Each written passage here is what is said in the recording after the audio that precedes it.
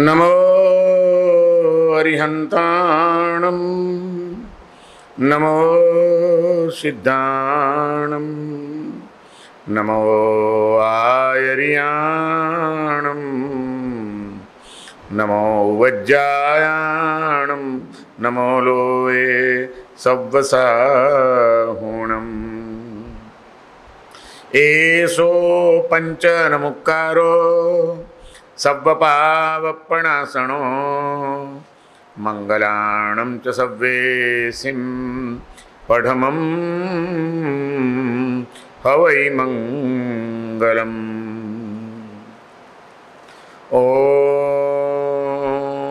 ઓંકારમ બિંદુ સંયુક્ત નિત્યમ ધ્યાયંતિ યોગિન કામદમ મોક્ષદમ ચૈવ ઓ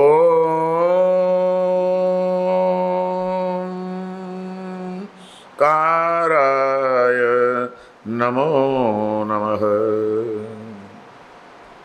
अज्ञानतिमिरान्दानां ज्ञानाञ्जनशलाकया नेत्रमुन्मीलितं येन तस्मै श्री गुरवे नमः तस्मै सद्गुरवे नमः या देवी स्तूयते नित्यं विबुधैर्वेदपारगैः सा मे भवतु जिह्वाग्रे ब्रह्मरूपा सरस्वती બ્રહ્મરૂપા સરસ્વતી. અંતર્ગતમ મહાશલ્યમ, અસ્થૈર્યમ યદિ નોદ્ધૃતમ ક્રિયૌષદસ્ય કો દોષ, તદા ગુણમ અયચ્છત. સંસારના સુખની લાલસાથી કરેલો ધર્મ, કે સંસારમાં પડનારા દુઃખના ભયથી પ્રેરાઈને કરેલો ધર્મ, એને જ્ઞાની પુરુષોએ શુદ્ધ ધર્મ કીધો નથી. બહુ ધ્યાનથી સાંભળજો. સુખની લાલસાથી કે દુઃખના ભયથી થતો ધર્મ એ શુદ્ધ ધર્મ નથી. આત્માના કલ્યાણ માટે, સ્વસ્વરૂપની પ્રાપ્તિ માટે થતો ધર્મ એને જ સંપૂર્ણ શુદ્ધ ધર્મ કયો છે. અને એટલા માટે અહીંયા આગળ યશોજીજી મહારાજે કીધું કે ભાઈ મહાશલ્ય જે છે અંદરમાં પડેલું. કયું શલ્ય? શલ્ય એટલે આ. મારે નરકમાં ન જવું પડે ભાઈ. આટલું કરશું ને તો આટલા હજાર વર્ષ નરકના દુઃખ સહન કરવા પડશે. માટે નથી કરવું.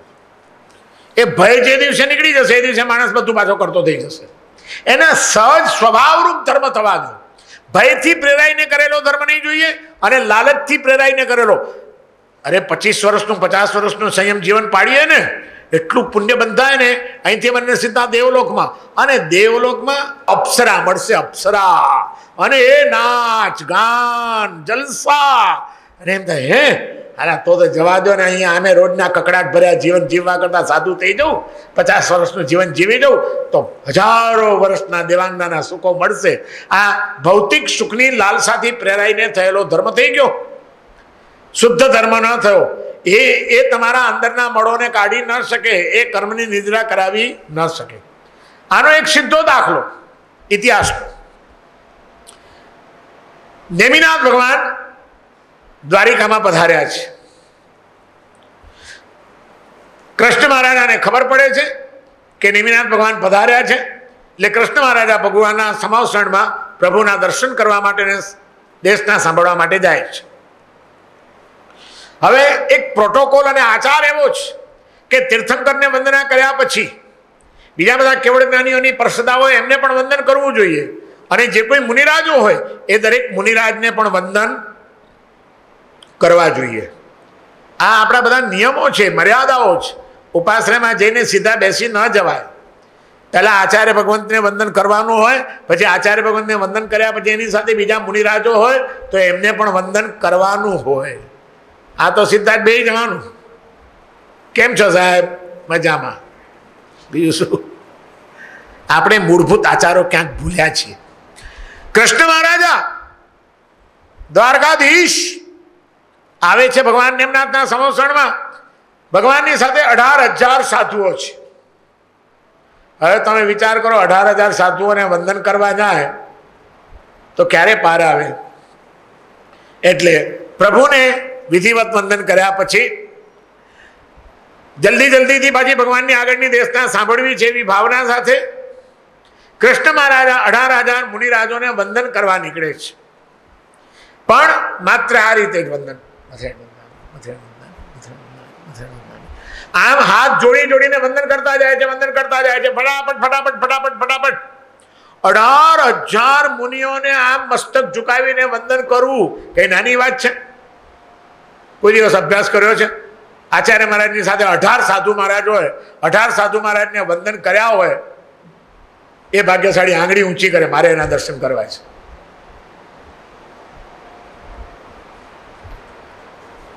અઢાર હજાર મુનિઓને કૃષ્ણ મહારાજે વંદન કરે છે માત્ર મસ્તક નમાવીને. પણ એટલા બધાને વંદન કરીને આવ્યા, કમરમાંથી વળીને. વંદન હંમેશા વિધિથી કરાવ કેમ છો મારા સાહેબ? કેટલાક કમર ટટાર રાખીને જ આવતા હતા એટલે ભાઈ ઝૂકતો ખરો, થોડોક તો. મુર્દા હુકામ થઈ જાય છે. ઝુકતા વહી હે જિસમે જાન હે, અકડતા તો મુર્દે કી પહેચાન હે. ઝૂકીને વંદન આપણે ના કરી શકીએ. પ્રભુની પાસે જઈએ, પ્રભુનું મુખ દેખાય ને દેરાસરના મુખ્ય દરવાજામાં પ્રવેશ કરીએ, ત્યાંથી જ કમર ઝૂકી જાય. નમો જીણાણમ ક્યાં છે નમ્રતા? ક્યાં છે ભક્તિનો ભાવ? ક્યાં છે આ પરમ પુરુષના આજના મને દર્શન થયા? અનંત કાળમાં ભટકતા જીવે? બધાના દર્શન કર્યા હશે, પણ ત્રણ લોકના નાથના પવિત્ર પ્રસમ રસ નીતરતી મુદ્રાના દર્શન આજે થયા, હું ધન્ય થઈ ગયો. એવા રૂવાણા ખડા થઈ ગયા હોય, એવા ભગવાનના દર્શન આપણે કેટલી વાર કર્યા? અઢાર હજાર મુનિઓને ભાવપૂર્વક વંદન કરી અને હવે ભગવાન નેમનાથની પાસે આવે છે. થાકી ગયા. અઢાર હજાર મુનિઓને વંદન કરીને થાક્યા છે. એટલે ભગવાન પાસે આવીને હાસ કરે છે. એના મનનો ભાવ ભગવાન જાણી જાય છે. કૃષ્ણ થાકી ગયા પ્રભુ અઢાર હજાર મુનિઓને વંદન કરીને થાકી ગયો. મહારાજા, થાક ન લાગવો જોઈએ. તમે થાક્યા નથી, તમારો થાક તો ઉતરી ગયો. કેવી રીતે પ્રભુ? સમ્યક દર્શન નહોતા પામ્યા. એ પહેલા તમે એવા કર્મ બાંધ્યા છે કે જેના કારણે સાતમી નારકીનું તમે આયુષ્ય બાંધી લીધું હતું. પણ તમે એટલા ભાવપૂર્વક આ મુનિઓને વંદન કર્યા છે કે આ સંયમધર મહામુનિઓ, બસ એમને વંદના કરું, ક્યારે મારો આત્મા પણ સંયમી બની જાય. એ શુભ ભાવથી, ઉત્કૃષ્ટ ભાવથી તમે જે અઢાર હજાર મુનિઓને આ વંદન કર્યા ને, કૃષ્ણ મહારાજા, તમે ચાર નારકીના બંધન તોડી નાખ્યા છે. સાતમી નારકીનું આયુષ્ય બાંધીને બેઠા હતા પણ આ માત્ર મુનિરાજોને કરેલી ભાવપૂર્વકની વંદનાએ તમારી ચાર ચાર નારકીના બંધન તોડી નાખ્યા છે. થાક ઉતરી ગયો, થાક લાગે નહીં. અને કૃષ્ણે જ્યાં સાંભળ્યું, ઊભા થઈ ગયા. પ્રભુ શું વાત કરો છો? ચાર તૂટી ગયા, તો પ્રભુ હજી થોડીક વાર ખમો બીજી વાર વંદન કરી આવું, બાકીના ત્રણ બી તૂટી જાય. ભગવાને કીધું, હવે બેસી જા. હવે બેસી જા તું. પહેલી વખત કૃષ્ણ તમે જે વંદન કર્યા, એમાં તમારો માત્ર નિર્મળ ભાવ હતો. અને ભાવ ધર્મ એ જ ઉત્કૃષ્ટ ધર્મ છે, એ જ શુદ્ધ ધર્મ છે, અને શુદ્ધ ધર્મ જ્યાં આવે છે, ત્યાં કર્મના બંધનો તૂટી જાય છે. હવે તમે વંદન કરવા જાઓ છો, ત્યાં તમારો ભાવ એ છે કે મારે નરકમાં ન જવું પડે. નરકના દુઃખ ભયથી પ્રેરાઈને કરેલો ધર્મ એ શુદ્ધ ધર્મ થઈ શકતો નથી. સ્વર્ગની લાલચથી પ્રેરાઈને કરેલો ધર્મ એ પણ શુદ્ધ ધર્મ થઈ શકતો નથી. પણ આત્માના સ્વભાવરૂપ જે ધર્મ છે, એ જ ધર્મ સાચો ધર્મ બની શકે છે અને એ જ ધર્મ આત્માનું કલ્યાણ કરનારો બની શકે છે. કૃષ્ણ મહારાજાના જીવનનો આ જાણીતો પ્રસંગ આપણને તત્વજ્ઞાનની એક ચાવી આપી દે છે કે બસ આ ચાવી સમજી લો, કામ થઈ જશે તમારું. આપણે ધર્મને ક્યાં સમજ્યા છીએ? અંતર્ગતમ મહાસલ્યમ અસ્થૈર્યમ યદિ નોધૃતમ ક્રિયૌષધસ્ય કો દોષ તદા ગુણમ અયચ્છત ક્રિયાનો શું દોષ છે જો અંદરમાં શલ્ય પડ્યો હોય તો નિશલ્ય રહીને માત્ર મુનિને કરેલી વંદના પણ નારકીના બંધનો તોડી શકે છે અને શલ્ય સાથે કરેલો ધર્મ એ ક્યારે મોક્ષ પ્રાપ્તિનું કારણ કલ્યાણકારીની ન પ્રકીર્તિતા નથી થઈ શકતી અભવ્યનો જીવ નવમા ગ્રૈવ્યક સુધી જાય. નવમો, નવ ગ્રૈવ્યક, પછી પાંચ અનુત અને પછી સિદ્ધશિલા. બહુ સિદ્ધશિલાની નજીક પહોંચી જાય. પણ છતાં એનો કોઈ દિવસ મોક્ષ ન થાય અભવ્યનો જીવ. નવમા ગ્રૈવ્યક સુધી કેવી રીતે પહોંચે? તો કે ચારિત્ર દ્વારા એનું પુણ્ય ઉત્કૃષ્ટ બાંધે. તો કે એવું પુણ્ય કેવી રીતે બાંધે? તો કે અભવ્યનો આત્મા એને મોક્ષ તત્વની રુચિ કે જ્યાં દેહ ન હોય જ્યાં કોઈ વસ્તુ ન હોય, ત્યાં વળી સુખ શું હોઈ શકે? એ વાત જ એના મગજમાં ના બેસે, પણ બાકીના આઠે આઠ તત્વમાં પૂર્ણ શ્રદ્ધાવાન હોય. એ તો તમને ખબર છે ને, ભગવાને નવ તત્વ કીધા છે. ભાઈ, તમારા નવ તત્વના નામ કોને આવડતા હશે?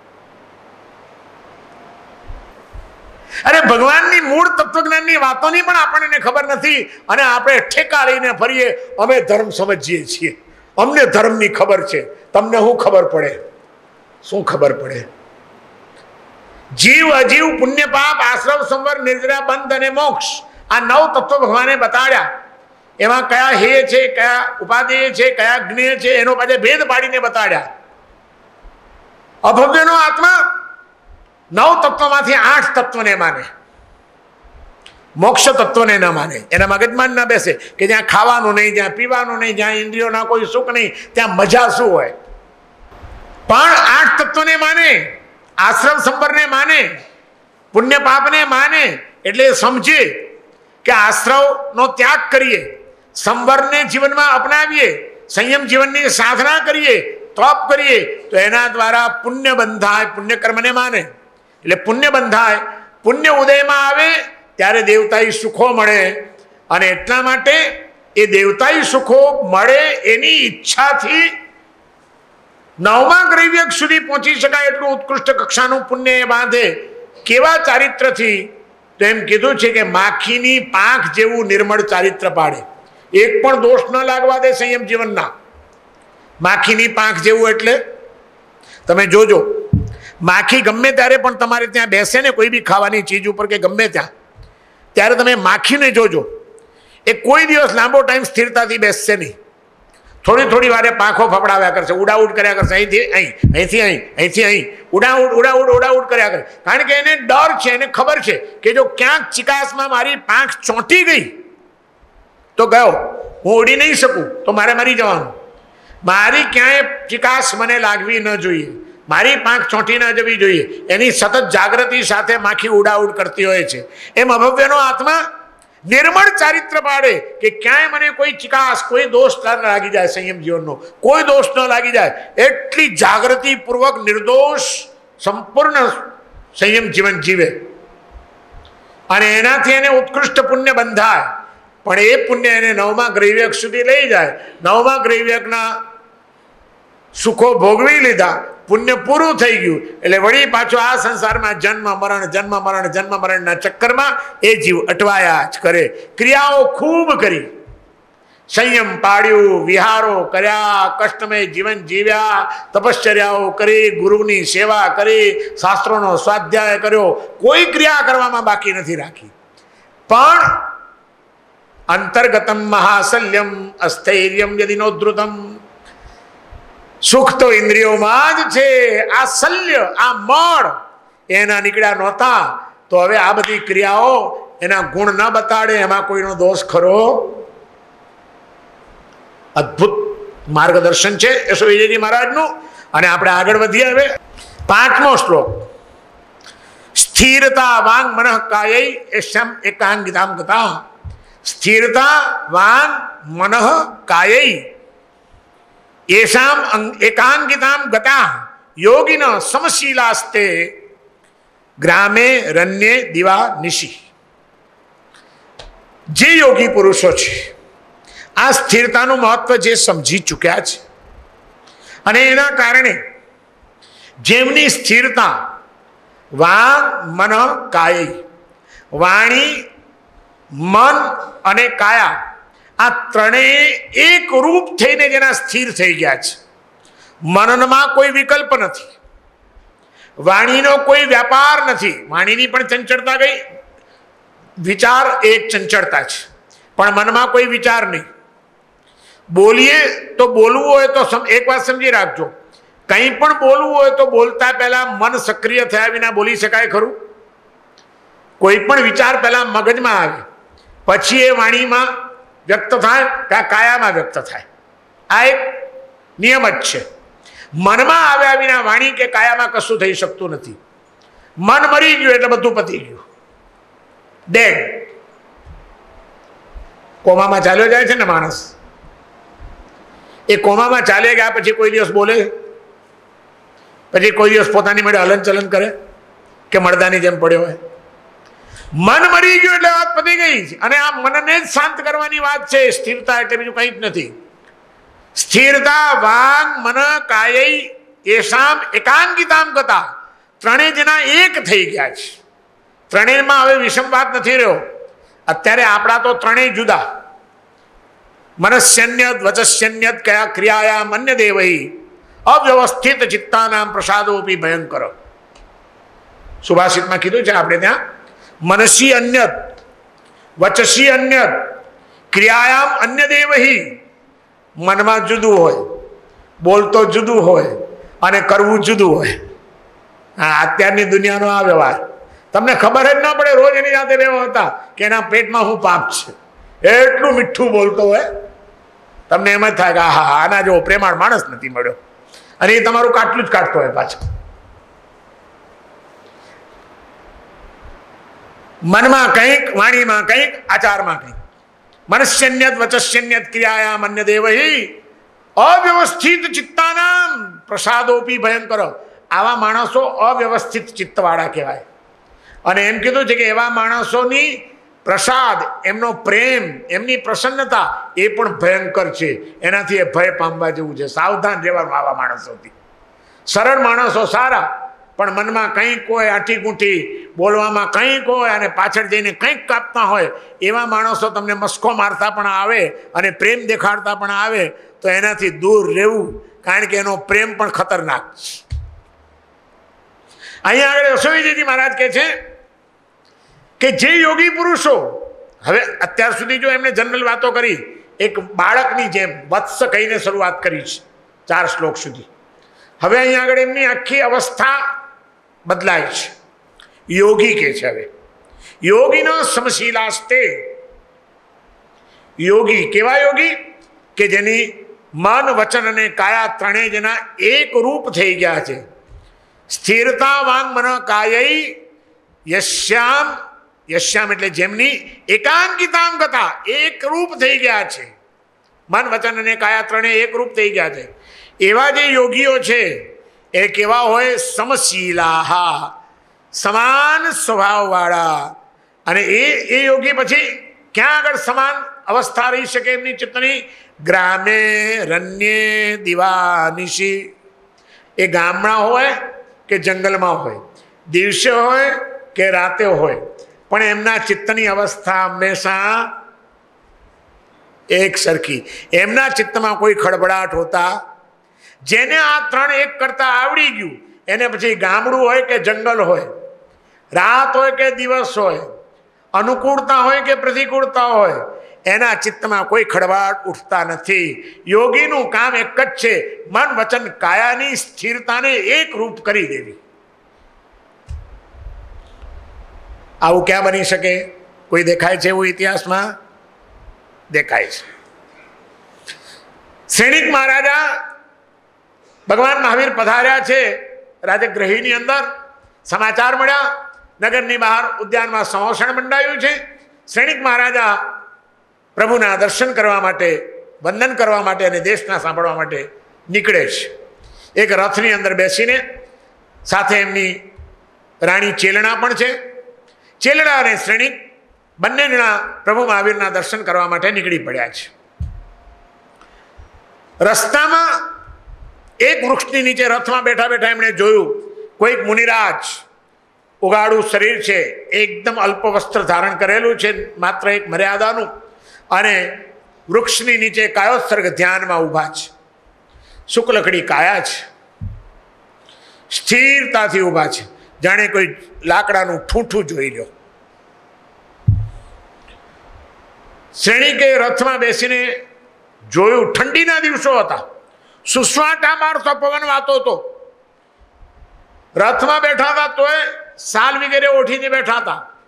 અને એમાં જંગલમાં ઝાડ નીચે ખુલ્લા શરીરે સ્થિરતાથી કાયોત્સર્ગ ધ્યાનમાં ઉભેલા મુનિને જોયા. સૈનિક મહારાજાનું મન ઝાલ્યું રે. સારથીને કહે છે, રથ ઊભો રાખો. રથ ઊભો રહ્યો. સૈનિક મહારાજા રથમાંથી ઉતરે છે. દર્શન કરીને આમ આનંદ થઈ ગયો. શું મુનિની લીનતા? મન સ્થિર છે. એકલા ધ્યાનમાં ઊભા છે એટલે વાણી પણ ચાલવાની જ નથી. અને કાયા તો જાણે અડોલ, ઠાણેનમ, મોણેનમ, જાણેનમ અપાણમ ઓસરામી કરી દીધું. એકદમ થાંભલો જ જોઈ લો. સૂક્ષ્મ પણ હાલન ચલન નથી. ત્રણેય એક થઈ ગયા છે એમની સ્થિરતાના. અને એમની અવસ્થાને એના કારણે છતાં મોઢા ઉપરની જે પ્રસન્નતા મેં કીધું ને કે આનંદ અને પ્રસન્નતા આત્માનો ગુણ છે. અંદરમાં ઠરો, એ ખજાનો નીકળી જ જશે. કશું જ નથી. બહારના સુખનું કોઈ સાધન નથી. કોઈ અનુકૂળ વાતાવરણ નથી. છતાં મોઢા ઉપર નિતરતી પ્રસન્નતા. ધ્યાનમાં ઉભેલા એ પ્રસન્ન ચિત્ત મુનિરાજને જોઈને શ્રેણી કે ભાવપૂર્વક વંદન કર્યા. ધ્યાનમાં ઉભેલા મુનિ છે એટલે એમને વિક્ષેપ કરાય નહીં. સાતા પણ પૂછાય નહીં. કારણ કે એમનું ધ્યાન ખંડિત થાય એવી કોઈ પ્રવૃત્તિ કરાય નહીં. મૌનપણે વંદન કરી ભાવથી હૃદયમાં ખૂબ સદભાવનું ભાથું લઈ શ્રેણીક રથમાં પાછા બેસી જાય છે. ભગવાનના સમોસણમાં પહોંચે છે. સમોસણમાં પહોંચ્યા, પ્રભુના દર્શન કર્યા, પ્રદક્ષિણા આપી. ભગવાનની દેશના સાંભળી. દેશના સાંભળ્યા પછી શ્રેણિકના મનમાંથી હજી પેલા મુનિરાજ ખસતા નથી. એટલે એને વિચાર થાય છે કે આજે ભગવાનને એક પ્રશ્ન પૂછું. ભગવાનને પ્રશ્ન પૂછે છે, પ્રભુ, આપણા ચૌદ હજાર મુનિઓ છે. આપણા શિષ્ય પરિવારમાં ચૌદ હજાર મુનિ છે. આ ચૌદ હજાર મુનિઓમાં, પ્રભુ, પહેલો નંબર આપને જો આપવો હોય તો આપ કોને આપો? બહુ અઘરો પ્રશ્ન હતો. સતત ચડતે પરિણામે હોય એવા મુનિરાજ કયા? અને ત્યારે ભગવાન મહાવીરે કોનું નામ આપ્યું હશે? ગૌતમ સ્વામીનું? સુધર્મા સ્વામીનું?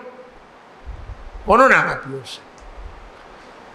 શ્રેણિક મહારાજા પ્રશ્ન પૂછે છે કે પ્રભુ, મુનિવર ચૌદ હજારમાં કુણ ચડતે પરિણામ? હે પ્રભુ, તમારા ચૌદ હજાર મુનિઓમાં ચડતે પરિણામે કોણ છે? મુનિવર ચૌદ હજારમાં કુણ ચડતે પરિણામ? વીર જીણંદે વખાણીઓ ધન ધનનો અણગાર. અને ત્યાં ભગવાન કહે છે કે મારા ચૌદ હજાર મુનિઓની અંદર સતત ઉત્કૃષ્ટ પરિણામ ધારા જેની ચાલી રહી હોય, એવા એ ધનના અણગારને ધન્ય છે. ધન ધનનો અણગાર. ભગવાને પણ એને ધન્યવાદ આપ્યા. એની સાધનાને કારણ કારણ એક જ હતું યોગ એવો થઈ ગયો તો આત્માના સ્વરૂપની સાથેનો એમનો યોગી હતા એ. અને એના કારણે સ્થિરતા, વાંગ, મન, કાય યશામ એકાંગિતામ ગતા યોગિન સમશીલાસ્તે ગ્રામે અરણ્ય દિવા નિશી. જંગલમાં છે કે ગામમાં એને કોઈ ફરક નથી પડતો. દિવસ છે કે રાત છે, એને કોઈ ફરક નથી પડતો.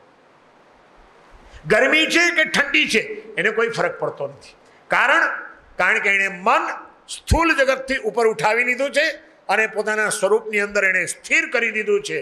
અને એ માત્ર મનને સ્થિર નથી કર્યું, એની મનની સ્થિરતાની સાથે એની વાણી અને કાયા પણ વિલીન થઈ ગઈ છે. એ બધાથી દેહ ભાવથી ઉપર ઉઠી ગયા છે. વાણીનો કોઈ વેપાર છે જ નહીં. અને મનની અંદર કોઈ સંકલ્પ કે વિકલ્પની ધારા પણ નથી. ઓહો, બહુ ઠંડી છે. એટલો પણ વિચાર નથી આવ્યો. ગમે એવા સુસ્વાતા વાયરા વાય. યોગીન સમશીલાસ્તે, એને માટે બધું સમાન છે. એ સમાન શીલવાળા થઈ ગયા છે, સમાન સ્વભાવવાળા થઈ ગયા છે. ઠંડી હોય કે ગરમી હોય, એના મનની અંદર વિકલ્પોનું કોઈ તરંગ ઉઠતા નથી. દિવસ હોય કે રાત હોય, એના વિકલ્પોની ધારામાં કોઈ બદલાવ આવતો નથી. એવા ધનના અણગાર, એ મારા ચૌદ હજાર મુનિઓની અંદર પહેલા નંબરે છે.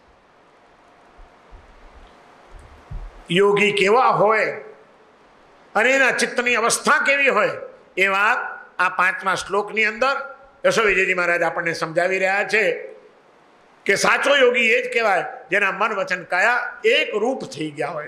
એમાં કોઈ તરતમતા ન હોવી જોઈએ. હવે આપણે આપણી જો વિચાર કરીએ, ભલે હું બહારથી કદાચ મેં દીક્ષા લીધીને સાધુ કહેવાઉં તમે બહારથી કદાચ શ્રાવક કહેવાઓ તમે શ્રાવક જીવનના કોઈ નિયમો પાડતા હો સાધુ જીવનના નિયમો પાડતો હોઉં પણ એ બધું કરવા છતાં આપણા ચિત્તની અવસ્થા શું? એનું આપણે કોઈ દિવસ નિરીક્ષણ કર્યું છે, ખરું? ચોવીસ કલાકમાં એવી કેટલી ક્ષણો જતી હશે કે જે ક્ષણોની અંદર મન વચન અને કાયા એક રૂપ થઈને પ્રવર્તતા હોય?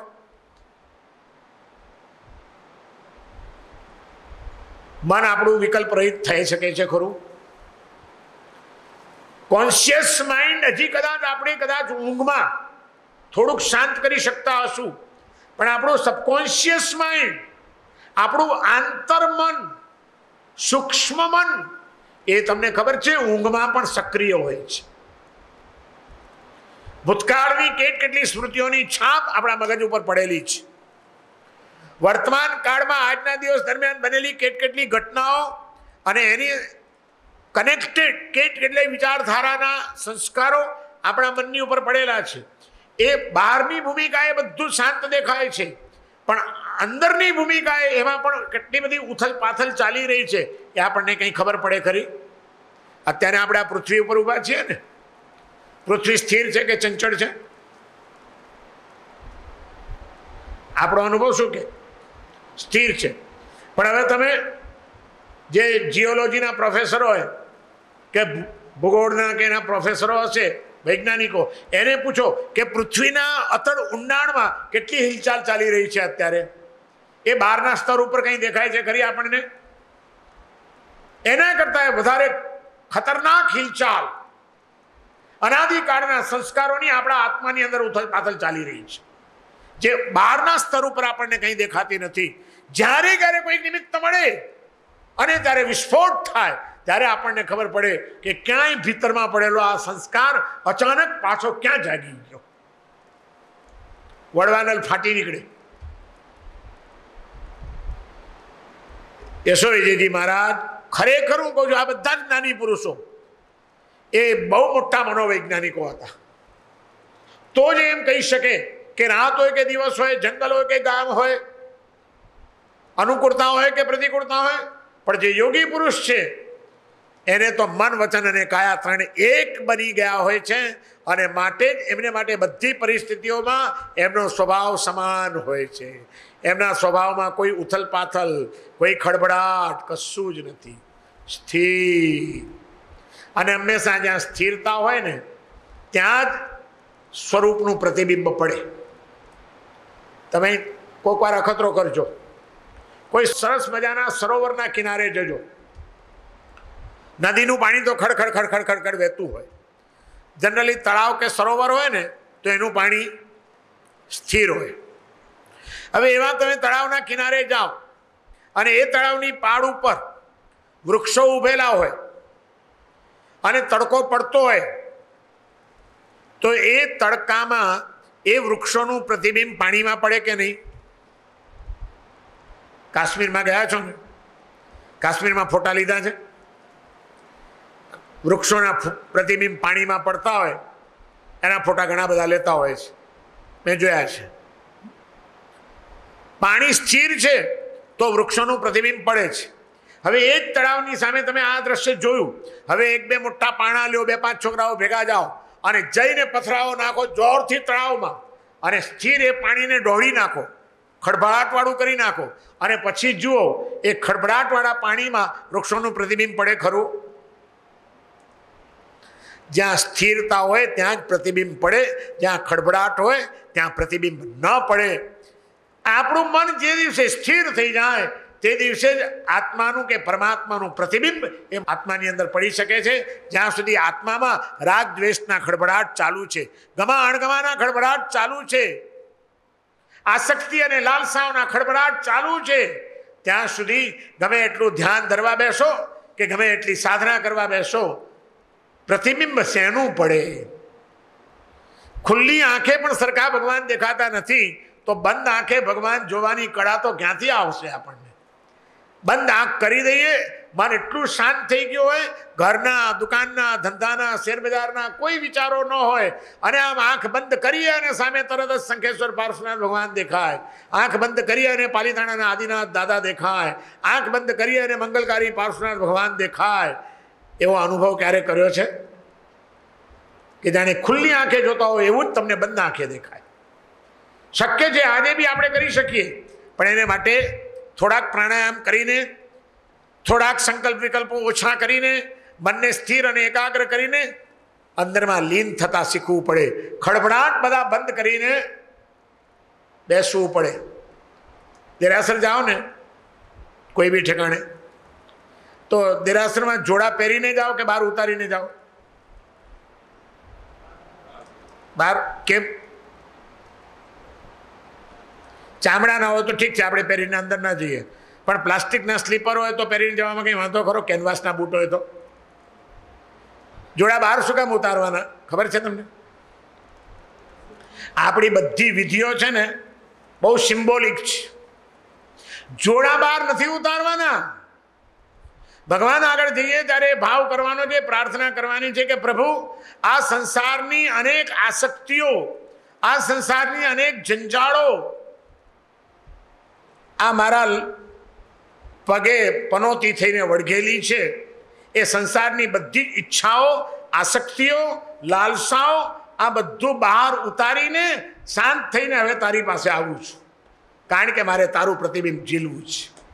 જોડા ઉતારતી વખતે આવો સંકલ્પ કરીને જાઓ ને કે હવે સંસારની કોઈ જંજાળ, સંસારના કોઈ વિચાર, સંસારની કોઈ આસક્તિ, સંસારની કોઈ લાલસા, સંસારની કોઈ માંગણી, આ બધું લઈને ભગવાન પાસે મારે નથી જવું. ભગવાન પાસે મારે જવું છે, મારે ભગવાન થવું છે એટલા માટે. બસ બાકી મને કંઈ જોઈતું નથી. ભગવાન પાસે શેને માટે આપણે જઈએ? ભગવાન પાસે જનારા બે જાતના લોકો હોય. કારણ કે આ દુનિયામાં ઉત્કૃષ્ટ ભાગ્ય, ઉત્કૃષ્ટ પુણ્ય, જો કોઈનું હોય તો કોનું છે? તીર્થંકર પરમાત્માનું. ઇન્દ્રો પણ એમની સેવામાં રહે. ભવ્ય સમાવસણની રચનાઓ થાય. રત્ન જડિત સિંહાસનો મુકાય. ચારે બાજુ વૈભવ જ વૈભવ હોય. ઉત્કૃષ્ટ પુણ્ય છે તીર્થંકર નામ કરવાનું. અને એવા ભગવાનની પાસે આપણે જઈએ તો શેને માટે? બે જાતના લોકોએ ઘણાને ભગવાન પાસે એટલા માટે જવું છે કે હે ભગવાન, બસ એવી કૃપા કરો કે મારું ભાગ્ય ખીલી ઉઠે. ભગવાન પાસે ભાગ્યવાન થવા જવું છે કે ભગવાન પાસે ભગવાન થવા જવું છે? આ પ્રશ્ન આપણે પૂછીને પછી દેરાસરમાં પગ મૂકીએ તો સારું. શું જોઈએ છે ભગવાન પાસે જઈને? ભાગ્ય જોઈએ છે ભગવાન? ભાગ્યવાન થવું છે કે ભગવાન થવું છે? અંતરાત્મા આપણો શું કહે છે? મને ખોટા જવાબ આપતા નહીં. કોઈ દિવસ આ ભગવાન પાસે જઈને વિચાર આવ્યો કે હે પ્રભુ, આ યશોદેજી મહારાજે જે વાત કરી છે કેટલી સાચી છે કે યોગીના સમશીલા હસ્તે સમાન વિચારધારા, હે પ્રભુ, તમારી પાસે તમારી સેવા કરતો કરતો ધર્ણેન્દ્ર આવ્યો. એની પ્રત્યે પણ તમારા મનની જે અવસ્થા હતી, એ જ અવસ્થા તમારી ઉપર ભયંકર ઉપસર્ગ કરતો કમઠ તાપસ આવ્યો. તો પણ તમારા મનની અંદર એક જ અવસ્થા સમશીલ હતા તમે પ્રભુ. અને હું એટલા માટે આવું છું કે મારા ચિત્તની અંદર વિષમતાઓનો કોઈ પાર નથી. આ મારી વિષમતા ટળી જાય અને મારું ચિત્ત પણ સમશીલાસ્તે થઈ જાય. એવી કરુણા કરજો પ્રભુ. મારા રાગ અને દ્વેષ તૂટી જાય. મારા વેર અને ઝેર વિરામ પામી જાય. મારી લાલસાને આસક્તિઓ ધોવાઈ જાય. પ્રભુ, મારે તમારા જેવા થવું છે. આવા ભાવ સાથે આપણે પરમાત્મા પાસે કેટલી વાર ગયા? આ તમન્ના લઈને કેટલી વાર ગયા? અને રોજ જઈએ છીએ છતાં હજી આ સ્થિતિ નથી આવતી. કેમ પ્રભુ આમ થાય છે? આટલા બધા રાગ દ્વેષ મને કેમ સતાવે છે? પ્રભુ કંઈક કરો કંઈક કરો, હું તમારા ચરણે છું, હું તમારા શરણે છું. પ્રભુ, એકાદું કૃપાનું કિરણ એવું નાખી દો કે મારા રાગ દ્વેષ બળીને ખાક થઈ જાય. પ્રભુ, ક્યારે તમે આવું કરશો કૃપા મારી ઉપર? એ આમ દર્દભરી માંગણી કરતા કરતા આંખમાંથી આંસુના બે બુંદ પડી ગયા હોય, એવા ભગવાનને ખમાસમણા કેટલી વાર આપ્યા? આપણે માત્ર ક્રિયાઓ જ કર્યા કરવાની ઉપર ચલી ભગવાનને બે ફૂલ નહીં ચડાવો તો ચાલશે, પણ મહિનામાં એક દિવસ તો કમસે કમ બે આંસુ ચડાવો પ્રભુને. કે પ્રભુ, તમારા જેવો નાથ મળ્યા પછી, તમારા જેવા કરુણામૂર્તિ પ્રભુને મારા હૃદયમાં સ્થાપન કર્યા પછી હજી પ્રભુએ કરુણાની બદલે કઠોરતા કેમ બેઠી છે મારા અહીંયામાં? આ મારી કઠોરતાને ધોઈ નાખો પ્રભુ, ધોઈ નાખો. કેમ જ હું મારા સુખને માટે કોકની સાથે ગમે તેવા કામ કરવા તૈયાર થઈ જઉં છું? કોઈનો અહિત કરવા તૈયાર થઈ જાઉં છું? કોકની આંતરડીઓ કકડાવી નાખું છું? પ્રભુ, બસ મને બચાવો, હું અનાથ છું. કોઈ દિવસ પોકાર ઉઠ્યો આપણને? શ્લોક બોલી જેવો સહેલો છે, અન્યથા શરણમ નાસ્તી તમે એવા શરણમ મમ. તસ્માત કારુણ્ય ભાવેન રક્ષ રક્ષ જીનેશ્વર. હે ભગવાન, મારા માટે કોઈ શરણ નથી, તમે જ એક મારા માટે શરણ છો અને બસ કરુણા કરો અને મારી રક્ષા કરો. પણ ખરેખર હૃદયમાં ક્યારે એવું થયું કે હું અસુરક્ષિત છું? જેને અસુરક્ષિતતાનું ભાન જ નથી, એ રક્ષાની પ્રાર્થના કેવી રીતે કરી શકશે?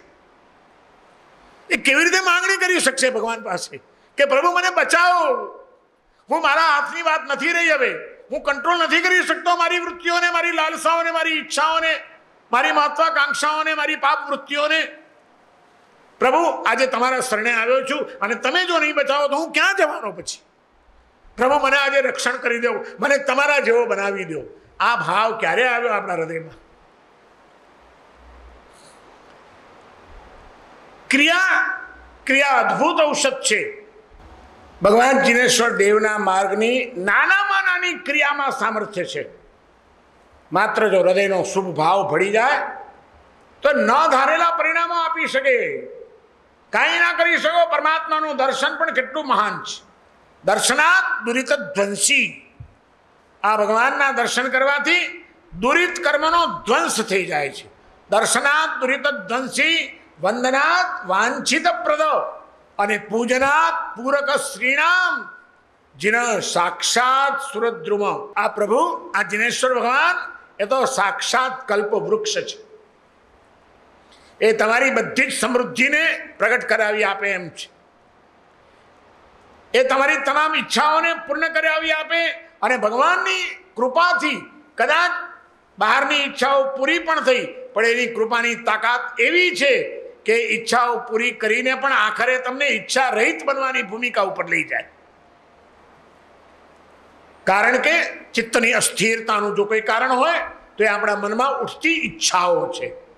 જાત જાતની ઈચ્છાઓ, નાની મોટી ઈચ્છાઓ, શુભ અશુભ ઈચ્છાઓ, પણ જ્યાં ઈચ્છા ઉઠી એટલે મનમાં તરંગો શરૂ થયા. અને તરંગો શરૂ થયા એટલે સ્થિરતા ખંડિત થઈ.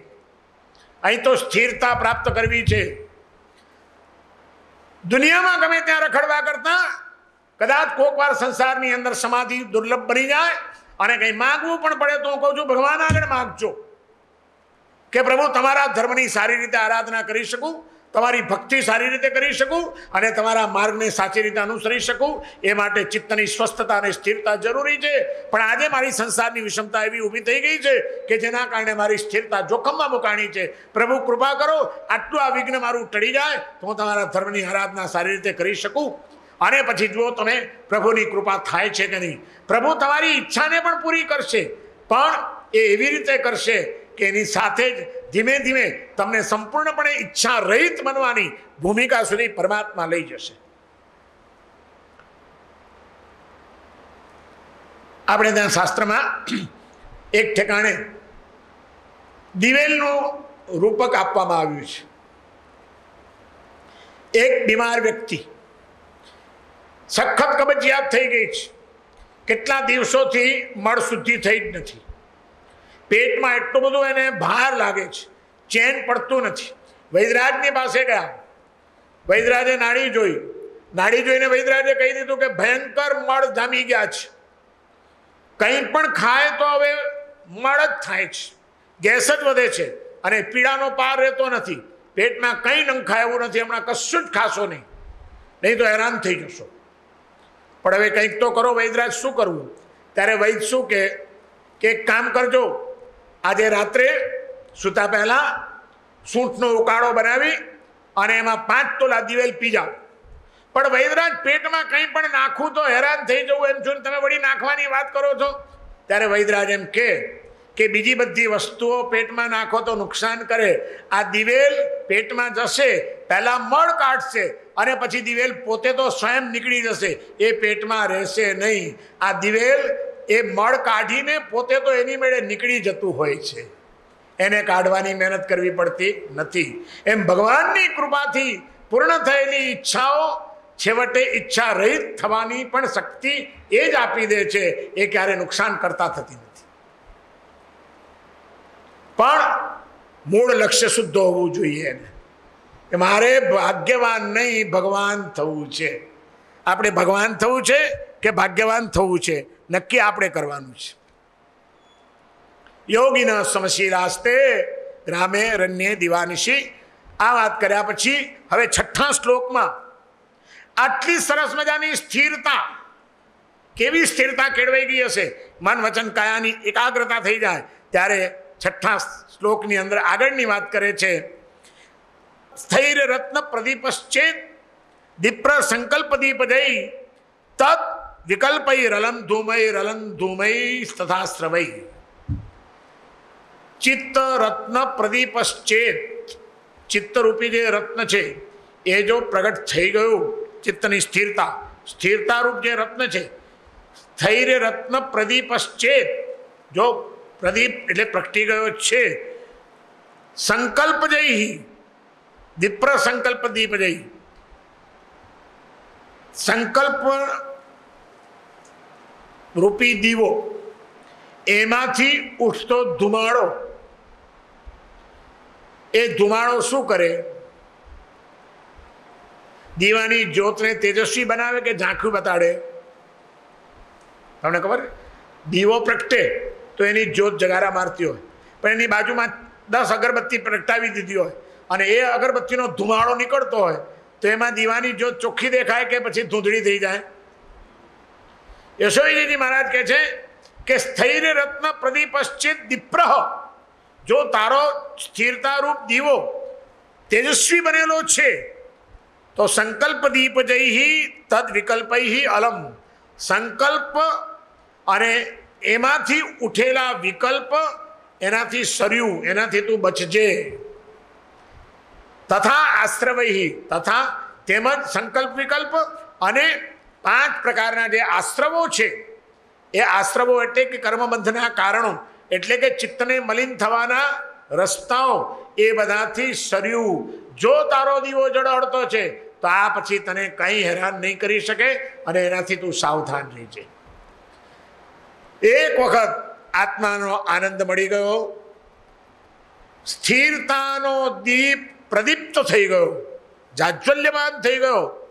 પછી આશ્રવો, સંકલ્પ વિકલ્પો, એનાથી અલમ સર્યું એની પછી ચિંતા કરવાની જરૂર નથી.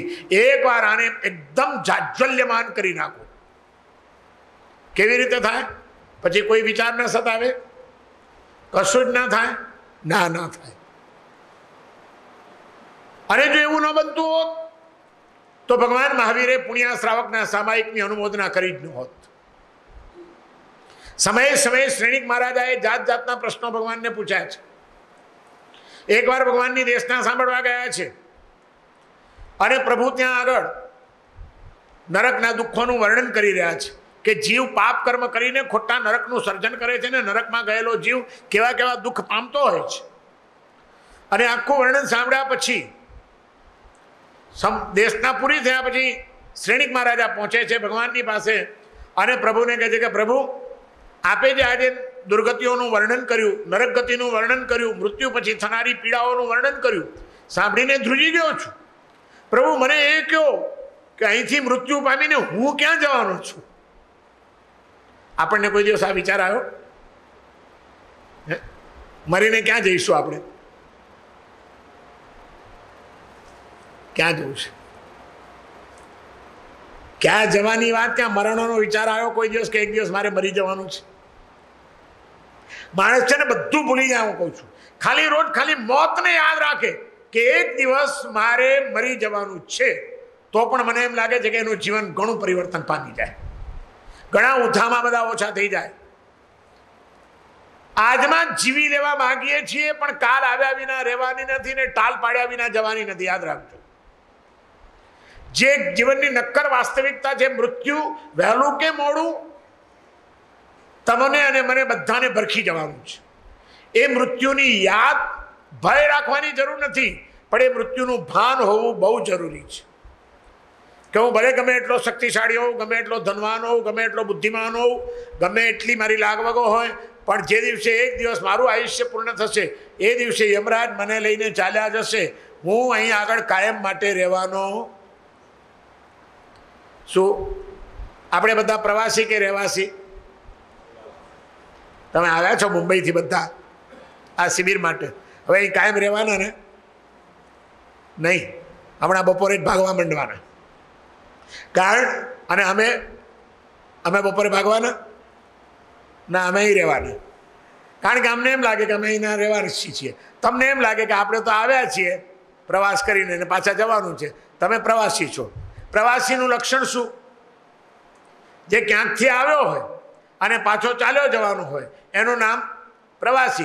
અને જેને ક્યારેય જવાનું ન હોય, કાયમ માટે જે રહેવાનું હોય, એ રહેવાસી. તમારા ઘરે તમે રહેવાસી કહેવાઓ. પણ તમારા ઘરે કોઈ મહેમાન આવે, એ મહેમાન માલિક કહેવાય કે મહેમાન કહેવાય? ઘરમાં બે જાતના માણસ હોય. ઘરનો માલિક હોય ને ઘરમાં આવનાર મહેમાન હોય. તમે માલિક કે મહેમાન? હે? તમારા ઘરના પૂછું છું. અને આ દુનિયાના માલિક કે મહેમાન? મહેમાન? શું વાત છે? હેમરાજભાઈને ખબર છે કે આપણે અહીંના મહેમાન છીએ. આજે એક કામ કરજો. ઘરે જાઓ. એટલે સીધા ઘરમાં જઈને પહેલાં ઘરવાળીને કહેજો કે અમે તો મહેમાન છીએ. તમે જે આપશો તે ખાઈ લઈશું. તમે જેમ રાખશો તેમ રહી લઈશું. તમારે ત્યાં મહેમાન આવે, એ મહેમાનને ઓછી વધતી જે સગવડ એ સગવડમાં પણ હસી ખીલીને રહી જાય કે નહીં એ? રહી જાય. પણ તમે જો તમારા ઘરના માલિક હો તો ઘરમાં કંઈ થોડું ઓછું વધતું હોય તો ચલાવી લ્યો ખરા? નહીં. માલિક અધિકાર જમાવવાની વાત કરે, મહેમાન ચલાવી લેવાની વાત કરે. આપણે માલિક છીએ કે મહેમાન? જે ક્યાંકથી આવ્યો હોય ને ક્યાંક જવાનો હોય મહેમાન કહેવાય. જે કાયમ માટે રહેવાનો હોય માલિક કહેવાય.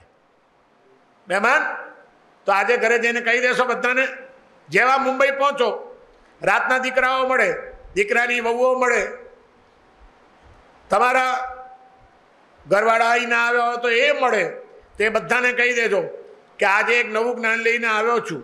આજથી આ ઘરમાં હું મહેમાનની જેમ રહેવાનો છું. કોઈ ચીજની ડિમાન્ડ નહીં હોય. કોઈ ચીજના વાંધા વચકા નહીં હોય. જે હશે તે હસતા મોઢે નભાવી લઈશું. માટે તમે જરાય ચિંતા કરતા કહી દેશો ને આજે.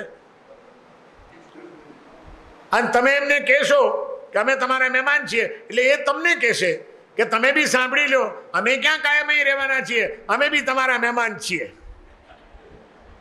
તમે એમના મહેમાન બની જજો, એ તમારા મહેમાન બની જાય. પછી જુઓ મજા રહેવાની. મહેમાનને કેવી રીતે રાખીએ આપણે? તમારી પડપડની આમ ધ્યાન રાખશે એ લોકો. અને એમનું પડપડનું ધ્યાન તમે રાખશો કે મહેમાનને કોઈ તકલીફ ન પડે. અને એ બીજા એકબીજાનું ધ્યાન રાખીને જીવતા હો તો મજા કેવી આવે જીવવાની? દાંડિયા બંધ થઈ જાય ને? આપણને તો જીવતા નથી આવડતું. શ્રેણીક મહારાજાને વિચાર આવ્યો કે હું મરીને ક્યાં જવાનો? આપણને મરવાનો જ વિચાર નથી તો જવાનો વિચાર ક્યાંથી આવે? ચોંટી પડેલા છીએ આપણે તો વગર હકના. પ્રભુ, હું મૃત્યુ પામીને ક્યાં જવાનો? અને ત્યારે ભગવાન કહે છે કે, શ્રેણી, અજ્ઞાન અવસ્થામાં ધર્મ નહોતો પામ્યો ત્યારે બધા વ્યસનોમાં ચકચોર થઈને તું શિકાર કળામાં પણ પાવરતો બનેલો હતો. અને ત્યારે દોડતી ગર્ભવતી હરણીનો શિકાર કરીને એક તીરથી બે જીવને તે મારી નાખ્યા હતા. અને તે વખતે તે નારકીનું આયુષ્ય બાંધી લીધું છે. એટલું જ નહીં. પણ પછી જ્યારે તારા જી હોય, તારી શિકાર કળાના વખાણ કર્યા કે, વાહ મહારાજા, વાહ, કેવું પડે? એક તીરથી એકને તો બધા મારે, આપે તો એક તીરથી બે જીવને માર્યા.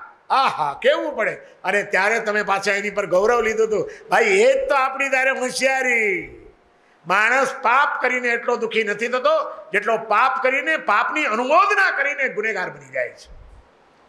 અનાદિકાળના કોઈક કર્મના એવા વિચિત્ર ઉદયો હોય અને ક્યારેક કદાચ કંઈક પાપ થઈ જાય એક સંતવ્ય છે. પણ પાપ કર્યા પછી પાપની અનુમોદના તો કોઈ દિવસ નહીં કરતા.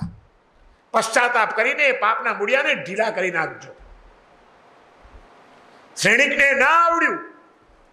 અનુમોદના કરી, એનું નામ શિકાર. અને ભગવાન કહે છે, ત્યાં તે નારકીનું આયુષ્ય નિકાચિત કરી નાખ્યું છે. પ્રભુ હું તમારો ભક્ત થઈને નરકમાં જવાનો? ના ના ના ના ના ના પ્રભુ એ બિલકુલ નહીં ચાલે. ગમે તે કરો, મારે નરકી, નારકીમાં નથી જવું. આપે જે વર્ણન કર્યું, હું તો ધ્રુજી ગયો છું. પ્રભુ, મને રસ્તો બતાડો, મારે નથી જવું. ભગવાન કે, હવે કાંઈ ના થાય, શ્રેણિક. તે નિકાચિત કરી નાખ્યું છે આયુષ્ય કર્મ તારું. તારે નરકમાં જવું જ પડે.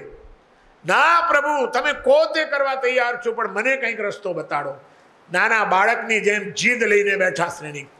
અને કેટલીક વાર માણસ ન જ સમજે ને, તો જ્ઞાની પુરુષોને પણ ભલે હકીકત શક્ય ન હોય, તો પણ લપ ટાળવા એ કંઈક જવાબ આપવો પડે. એટલે એ રીતે સમજો ને કે ભગવાને એને કીધું, ભલે ભલે ચાલ, તારે નારકીમાં નથી જવું ને. છે, એક બે રસ્તાઓ છે. તું કર તો, તારી નારકી તૂટી જાય. હે પ્રભુ, બોલો ને. જો, તારા મગજમાં જ પુણ્યો શ્રાવક રહે છે. એ પુણ્યા શ્રાવકના ઘરે જા એના એક સામાયિકનું ફળ તું લઈ આવ. એ જો એના એક સામાયિકનું ફળ તને આપી દે, તો તારી નારકીના બંધન તૂટી જાય. ઓહો, પ્રભુ, આટલી જ વાત છે ને, હું તો રાજા છું. જે માગું તે કોઈ પણ આપવા માટે બંધાયેલો છે મને. ન શું આપે? આ ઉપડ્યો હમણાં જ.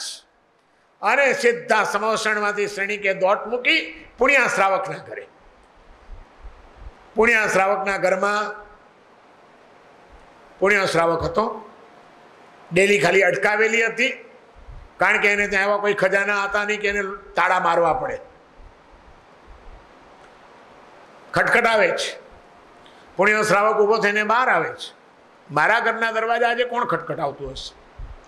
જોયું તો સમ્રાટ શ્રેણિક બેઠા છે. ભગવાનના સમોષણમાં પુણ્યો પણ ઘણી વાર જતો હતો. શ્રેણિકને તો બધા જ ઓળખે ગામનો રાજા. રાજાને જોઈને પુણ્યો ટકાઈ ગયો.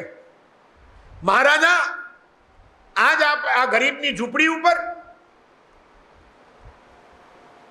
ફરમાવો, કેમ પધાર્યા છો? ભાગ્યશાળી, આજે હું તમારી પાસે કંઈક માગવા આવ્યો છું. તમારે મને કંઈક આપવાનું છે લેવા આવ્યો છું. પુણ્યો કે છે, મહારાજા ગરીબ માણસની મસ્કરી શું કામ કરો છો? તમે તો મગજના નાથ અને હું એક નાચી જ નાનો ગરીબ માણસ, હું આપને શું આપી શકું? આવી મસ્કરી કરીને મારી મજાક ન ઉડાવો ત્યારે પુણ્યો શ્રાવક આમ ગભરાઈને ઊભો છે અને શ્રેણિક રાજા કહે છે, ભાગ્યશાળી, ગરીબ તમે નથી, ગરીબ તો હું છું, હું. તમે તો પુણ્યશાળી છો, તમે તો મહાન છો, પ્રભુના હૃદયમાં તમારું સ્થાન છે. આજે પ્રભુએ તમારા ગુણ ગાયા અને પ્રભુના કહેવાથી આવ્યો છું ભાગ્યશાળી, થોડી કૃપા કરો, તમારા એક સામાયિકનું ફળ મને આપી દો મને બહુ જ જરૂર છે. ઘટના બહુ જાણીતી છે, પણ કોઈ દિવસ આની ઉપર આપણે વિચાર કર્યો કે એવું તે પુણ્યા શ્રાવકના સામાયિકમાં શું હશે કે જેના કારણે ભગવાન મહાવીરના હૃદયમાં એ સ્થાન પામી ગયો હશે. મગજની અંદર ભગવાન મહાવીરના બાર વ્રતધારી શ્રાવકો પણ હતા. લાખો અનુયાયીઓ પણ હતા. હજારો સાધુ સાધ્વીજીઓ પણ હતા. ભગવાન મહાવીરે નારકની નારકીના બંધનો તોડવા માટે બીજા કોઈના ધર્મની યાદ ન કરી, પુણ્યા શ્રાવકના સામાયિકનું મૂલ્યાંકન કર્યું. એ પુણ્યા શ્રાવકનું સામાયિક શું હશે? મને લાગે છે કે આ એક મોટામાં મોટો સંશોધનનો વિષય છે. કોઈએ પીએચડી કરવું હોય, તો પુણ્યા શ્રાવકના સામાયિકની ક્વોલિટી ઉપર પીએચડી કરવું જોઈએ. કે એની પાછળ એની કઈ મનોવૃત્તિઓ કામ કરતી હશે? કઈ હૃદયની ભૂમિકા કામ કરતી હશે? પુણ્યા શ્રાવકે સામાયિકમાં શું કર્યું હશે? હજારો સામાયિક કરી ચૂકેલા આપણે. કોઈ દિવસ પુણ્યા શ્રાવકના સામાયિકને વિચારવાની પણ તકલીફ લીધી છે ખરી? કે પુણ્ય શ્રાવક સામાયિકમાં શું કરતો હશે? તમે અડતાલીસ મિનિટનો સામાયિક કરો. એ શું કરતો હતો અડતાલીસ કલાકનું હતું એનું કઈ સામાયિક? ના. આ પાંચમો શ્લોક એનો આપણને જવાબ આપે છે. સ્થૈર રત્ન પ્રદીપ્ત ચેત દીપ્ર સંકલ્પ દીપ જઈ જો તમારું સ્થિરતા આત્મ સ્વરૂપની અંદર સ્થિરતા રૂપ દીવો પ્રદીપ્ત થઈ ગયો છે, તો પછી સંકલ્પ, વિકલ્પ અને આશ્રમોથી સર્યું એ તમને સુખ અડી શકવાના હતા. સામાયિકમાં બેઠેલો એ પુણ્યો શ્રાવક બે ઘડીને માટે આપણે તો માત્ર કલ્પના જ કરીએ કે બે ઘડીને માટે ભૂલી જતો હશે કે હું મગધનો રહેવાસી છું. એ ભૂલી જતો હશે કે રૂની પૂણી બનાવવાનો મારો કોઈ ધંધો છે. એ ભૂલી જતો હશે કે મારે કોઈ ઘર છે ને મારી પણ કોઈ ઘરવાળી છે. એ ભૂલી જતો હશે કે આ સંસારમાં મારું કોઈ અસ્તિત્વ છે. બે ઘડીને માટે મન વચન અને કાયા ત્રણેયને એક કરી નાખીને સ્વરૂપની અંદર સ્થિર થયેલો આત્મજ્યોત એવી એની પ્રગતિ જતી હશે કે આત્મજ્યોતની એને બુઝાવવાની તાકાત કે એને ધૂંધળી બનાવવાની તાકાત એના ચિત્તમાં ઉઠતા કોઈ સંકલ્પો, કોઈ વિકલ્પો, કોઈ આશ્રમો ક્યાંય એની પાસે ડોકાઈ શકતા નહીં હોય. બે ઘડીને માટે કદાચ એ પહોંચી જતો હશે સિદ્ધ શિલા ઉપર.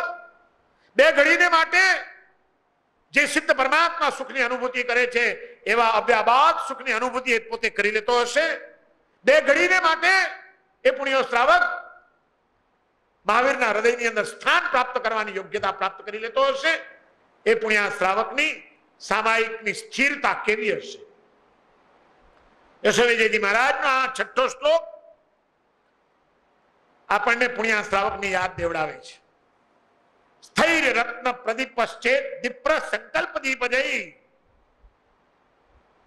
રલમ વિકલ્પઈ રલમ આશ્રમય વિકલ્પોથી એ સર્યું, આશ્રમોથી એ સર્યું. કોઈ ડોકાઈ શકે એમ નથી મારી પાસે, કારણ કે મેં મારો સ્થિરતાનો દીપક પ્રજ્વલિત કરી દીધો છે. સ્થિરતાને એકવાર સિદ્ધ કરી લઈએ, પછી કોઈ સંકલ્પો, વિકલ્પો, આશ્રમો, આસક્તિઓ, આ બધું તો એની આગળ પાંગડું બની જાય. પણ એ સ્થિરતાની તીવ્રતા, એ સ્થિરતાની તેજસ્વીતા, એ સ્થિરતાની અડોલ અવસ્થા. એને આપણે કોઈ વાર અનુભવવાનો પ્રયત્ન જ નથી કર્યો. આપણું મન અહીં તઈ અહીં તઈ અહીં તઈ.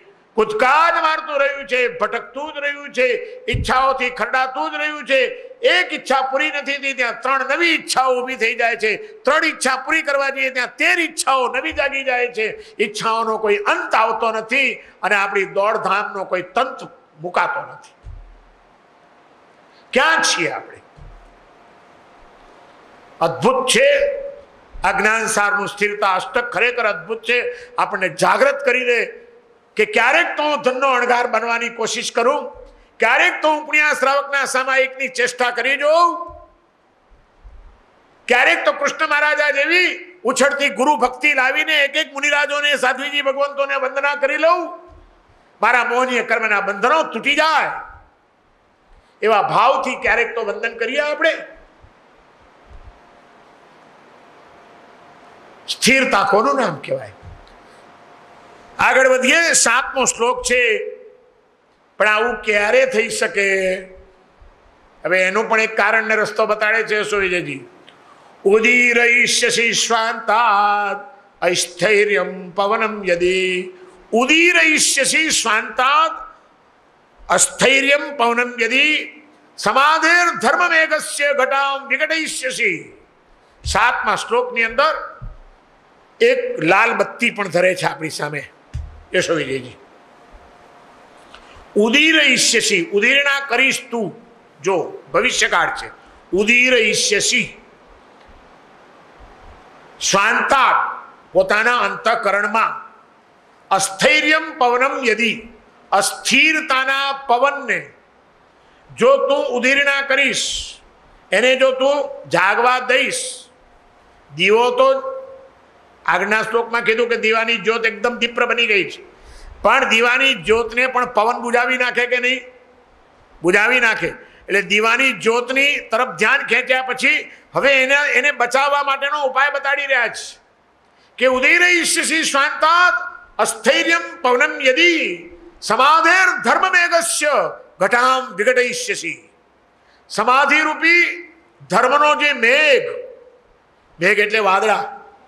ચોમાસું આવ્યું છે તૈયારીઓ ચાલી રહી છે થોડાક દિવસમાં કાળા ડિમાંગ વાદળાઓની ઘટાટોપ છવાઈ જશે કે નહીં આકાશમાં? છવાઈ જશે. અને એવા ઘટાટોપ કાળા વાદળાઓ જ્યારે છવાઈ ગયા હોય, ત્યારે સૂર્યના કિરણો તમારી ઉપર આવી શકે ખરા?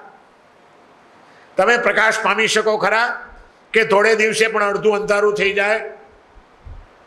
યશો વિજયજી મહારાજ, બધે દાખલાઓ આપીને જ વાત કરે છે. ઉદીરયિષ્યસી સ્વાંતાદ અસ્થૈર્યમ પવનમ યદી સમાધેર ધર્મમેઘસ્ય ઘટામ વિઘટયિષ્યસી પવન આવે, જો ઉદરીણા કરીશ તો અસ્થિરતારૂપ પવનનો, તો તારા જીવનની અંદર આટલી બધી આરાધનાઓ કરીને ધર્મ મેઘની સમાધિની જે ઘટા છવાયેલી છે, એ એને વિખરાઈ જતા વાર નહીં લાગે. ગમે એવી ઘટા છવાઈ ગઈ હોય, પણ જોરદાર પવન આવે. ખબર છે આપણે ઘણીવાર એવું લાગે કે ઓહો, જો તો વાદળા ઘેરાય છે, હમણાં તૂટી પડશે વરસાદ. અને એટલામાં જબરજસ્ત વાવાઝોડું આવે અને અડધા કલાક પહેલાં ઘટા દાર વાદળા જોયા હોય અને પવન વાદળાઓની ક્યાંય ખેંચાઈ જાય અને અહીંયા આગળ એક ટીપું એ ન પડે. વાદળાઓને ખેંચાઈ જતા વાર ન લાગે. કોણ ખેંચી જાય વાદળાઓને? જોરદાર પવન, હવા. અને યશો વિજયજી મહારાજ, આપણને સજાગ કરે છે કે યાદ રાખજે, સમાધિની ધર્મમે ઘટા તારા જીવનમાં છાઈ ગઈ છે. આવો દીપ જ્વલિત થઈ ગયો સ્થિરતાનો. એટલે સમાધિની ઘટાદાર છાયામાં તું આવી ગયો છે. હવે સમશીલ વાળું તારું ચિત્ત થયું છે. પણ છતાં યાદ રાખજે ક્યાંક અસ્થિરતારૂપ પવન આવીને તારી આ સમાધિના ઘટાટોપને વિખેરી ન નાખે. લાલબત્તી ધરે છે. એકવાર સમાધિ આવવી સહેલી છે, પણ એને ટકાવવી મુશ્કેલ છે. એકવાર સ્થિરતા આવવી સહેલી છે, પણ સ્થિરતાને ટકાવવી મુશ્કેલ છે. સ્થિરતા લાવવી જ એક તો અઘરી. આવે ત્યારે સાચી. ગમે એટલી ગરમીઓ અને બધા કહેતા હતા કે હવે તો વરસાદ આવે તો સારું, વરસાદ આવે તો સારું, વરસાદ આવે તો સારું. પણ વરસાદ લાવો કંઈ સહેલો છે? ઝાપટું આવીને ચાલ્યું જાય જુદી વાત છે. પણ ગરમી દૂર કરે એવો વરસાદ આપણે ઈચ્છીએ એટલે આવી જાય. એ આવવો અઘરો છે. અને કદાચ આવ્યો, સવારના ઝાપટું પડી ગયું સાત વાગે, પણ પછી ટકવું પાછું. આવીને જતું રહ્યું. કાંઈક પવન આવ્યો હશે ને ખેંચી ગયો. એમ જીવનમાં સ્થિરતા, સમાધિની સ્થિરતા સંકલ્પ વિકલ્પ રહિત ચિત્તની દિવ્યતાની સ્થિરતા એ પ્રગટવી મુશ્કેલ છે અને કદાચ પ્રગટી પણ જાય તો પ્રગટ્યા પછી કોઈ પવનના વાયરા આવીને એને વીખી ના નાખે એ સંભાળવું તો બહુ મુશ્કેલ છે. અને એવું મુશ્કેલ કામ કરવું હોય તો શું કરવું પડે? એની થોડીક વાતો કરીને આપણે આજે હવે છેલ્લા શ્લોક તરફ જઈશું. ઉદીરૈષ્યસી શ્વાંતાદ અસ્થૈર્યમ પવનમ યદી સમાધેર ધર્મમેઘસ્ય ઘટામ વિઘટૈષ્યસી ઘનઘોર ઘટા એને વિખારી નાખીશ ભાઈ, તું વિખેરી નાખીશ. જો તે તારા ચિત્તમાં અસ્થિરતાનો, ચંચળતાનો, અહંકારનો, આસક્તિનો કોઈક વાયરો વિચાતો કરી દીધો, તો યાદ રાખજે, તારા જીવનની ધર્મ ભાવના તારા જીવનની સમાધિ, તારા જીવનની ધર્મની પરિણતિ, એની ઘટાઓ બધી વિખરાઈ જતા વાર નહીં લાગે અને આવી કોઈ પણ જ્યારે પ્રતિપાદન કરે જ્ઞાની પુરુષો, ત્યારે હંમેશા એને બુદ્ધિગમ્ય કરવી જોઈએ કોઈક ને કોઈક દાખલાઓ દ્વારા. ક્યાંક આપણે કૃષ્ણ મહારાજાનો દાખલો જોયો તો ખબર પડી ગઈ કે દુઃખનો, ભય અને સુખની લાલચથી થતો ધર્મ એ સાચો ધર્મ નથી થતો. પહેલી વખતના વંદનામાં એણે નરકીના બંધનો તોડી નાખ્યા. બીજી વખત વંદના કરવા તૈયાર થયા તો ભગવાને ના પાડી દીધી કે હવે બે જા. હવે તારો ભાવ ગયો. હવે એ ભાવ ના આવે અને ભયથી કરેલો ધર્મ તારું કામ નહીં કરી આપે. આ બાજુ સૈનિક મહારાજા પૂછે છે ધન્ના અણગારના વિશે. ધન્ના અણગાર જંગલમાં હતા તો એમ સમશીલ હતા. રાતના કડકડતી ઠંડીના વાયરા શિયાળાના હતા. છતાં એ પોતાના ધ્યાનમાં લીન હતા. ત્યાં એ આપણને ધન્ના અણગાર દેખાય. અને અને એકવાર જો અંદરનો એ દીવો જાગી ગયો, તો કોઈ પણ સંકલ્પ, વિકલ્પ અને આશ્રવો એને પ્રવેશ મળી શકતો નથી જીવનમાં. એનાથી શર્યું એ વાત આપણને પુણ્યો શ્રાવક બતાડી રહ્યો છે. કારણ કે પુણ્યા શ્રાવકની આજીવિકા અને એની કમાણી કેટલી હતી એ તમારાથી અજાણ્યું નથી. કેટલું હતું બેંક બેલેન્સ એનું? કેટલી એફડી કરેલી હતી? કઈ કઈ સ્કીમોમાં રોકાણ હતું? શેરબજારની કઈ સ્ક્રિપ્ટ લીધેલી હતી એણે?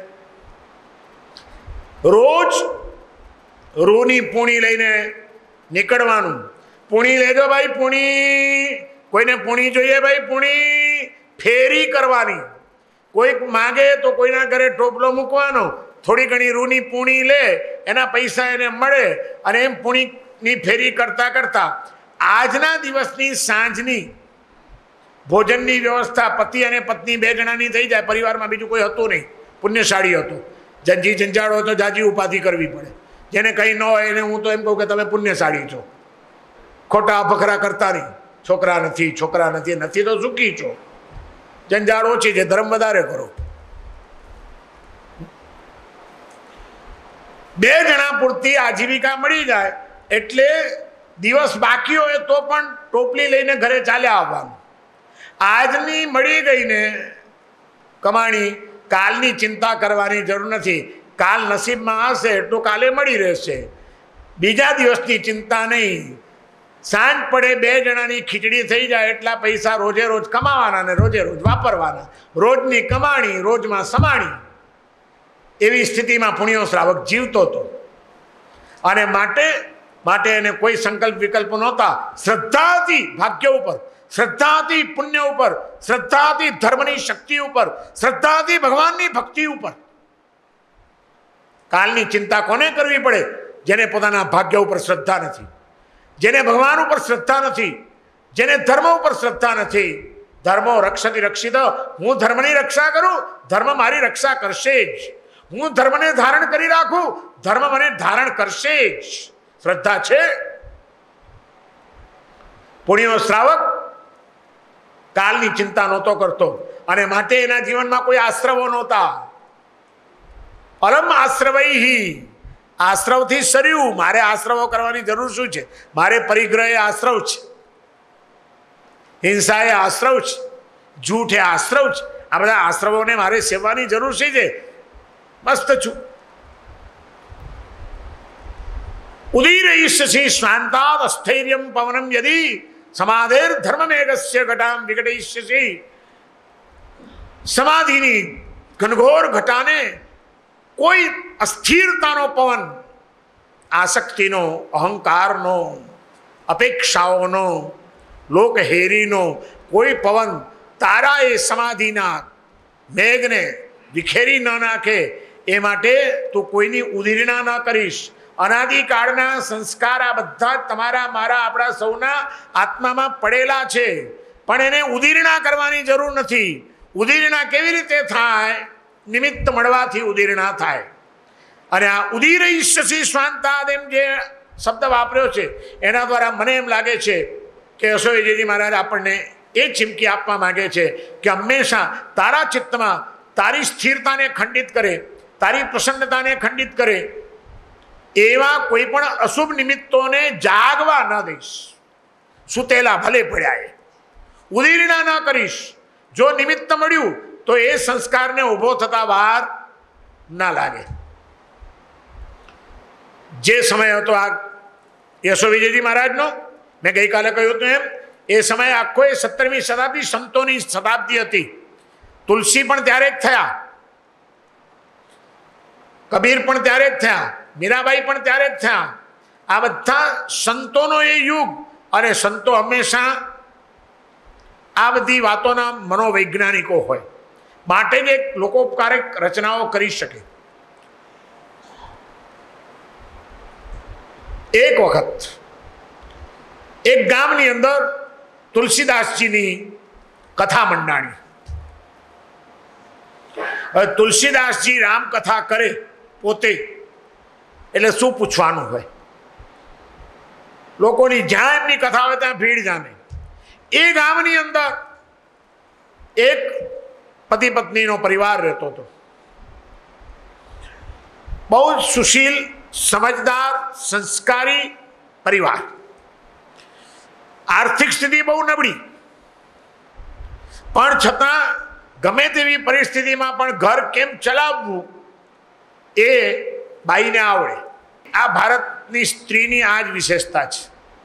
ભારતની સન્નારી એટલી સુશીલ, એટલી સંસ્કારી અને એટલી સમજદાર હોય કે જે પરિસ્થિતિ હોય એ પરિસ્થિતિમાં પણ પરિવારને કેમ સાચવી લેવો અને ઘરને કેમ ચલાવી લેવું એ કળા એને હસ્તગત થયેલી હોય.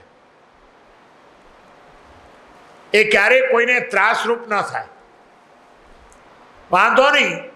આપણી કમાણી નથી, તમે ચિંતા નહીં કરતા. ઓછા પૈસામાં એ મને ઘર ચલાવતા આવડે છે. એમ કહી શકે એ અમારી ભારતની સન્નારી છે. એકદમ આર્થિક સ્થિતિ નબળી.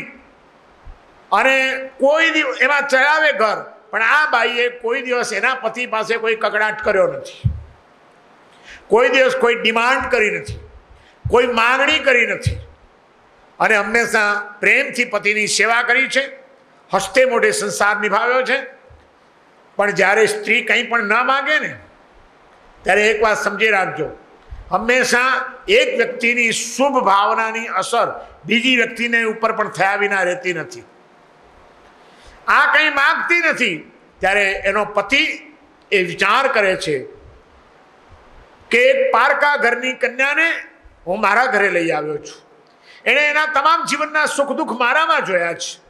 પણ મારે ત્યાં લાવ્યા પછી હું એને કોઈ એવું સંસારનું સુખ જાજુ આપી શક્યો નથી.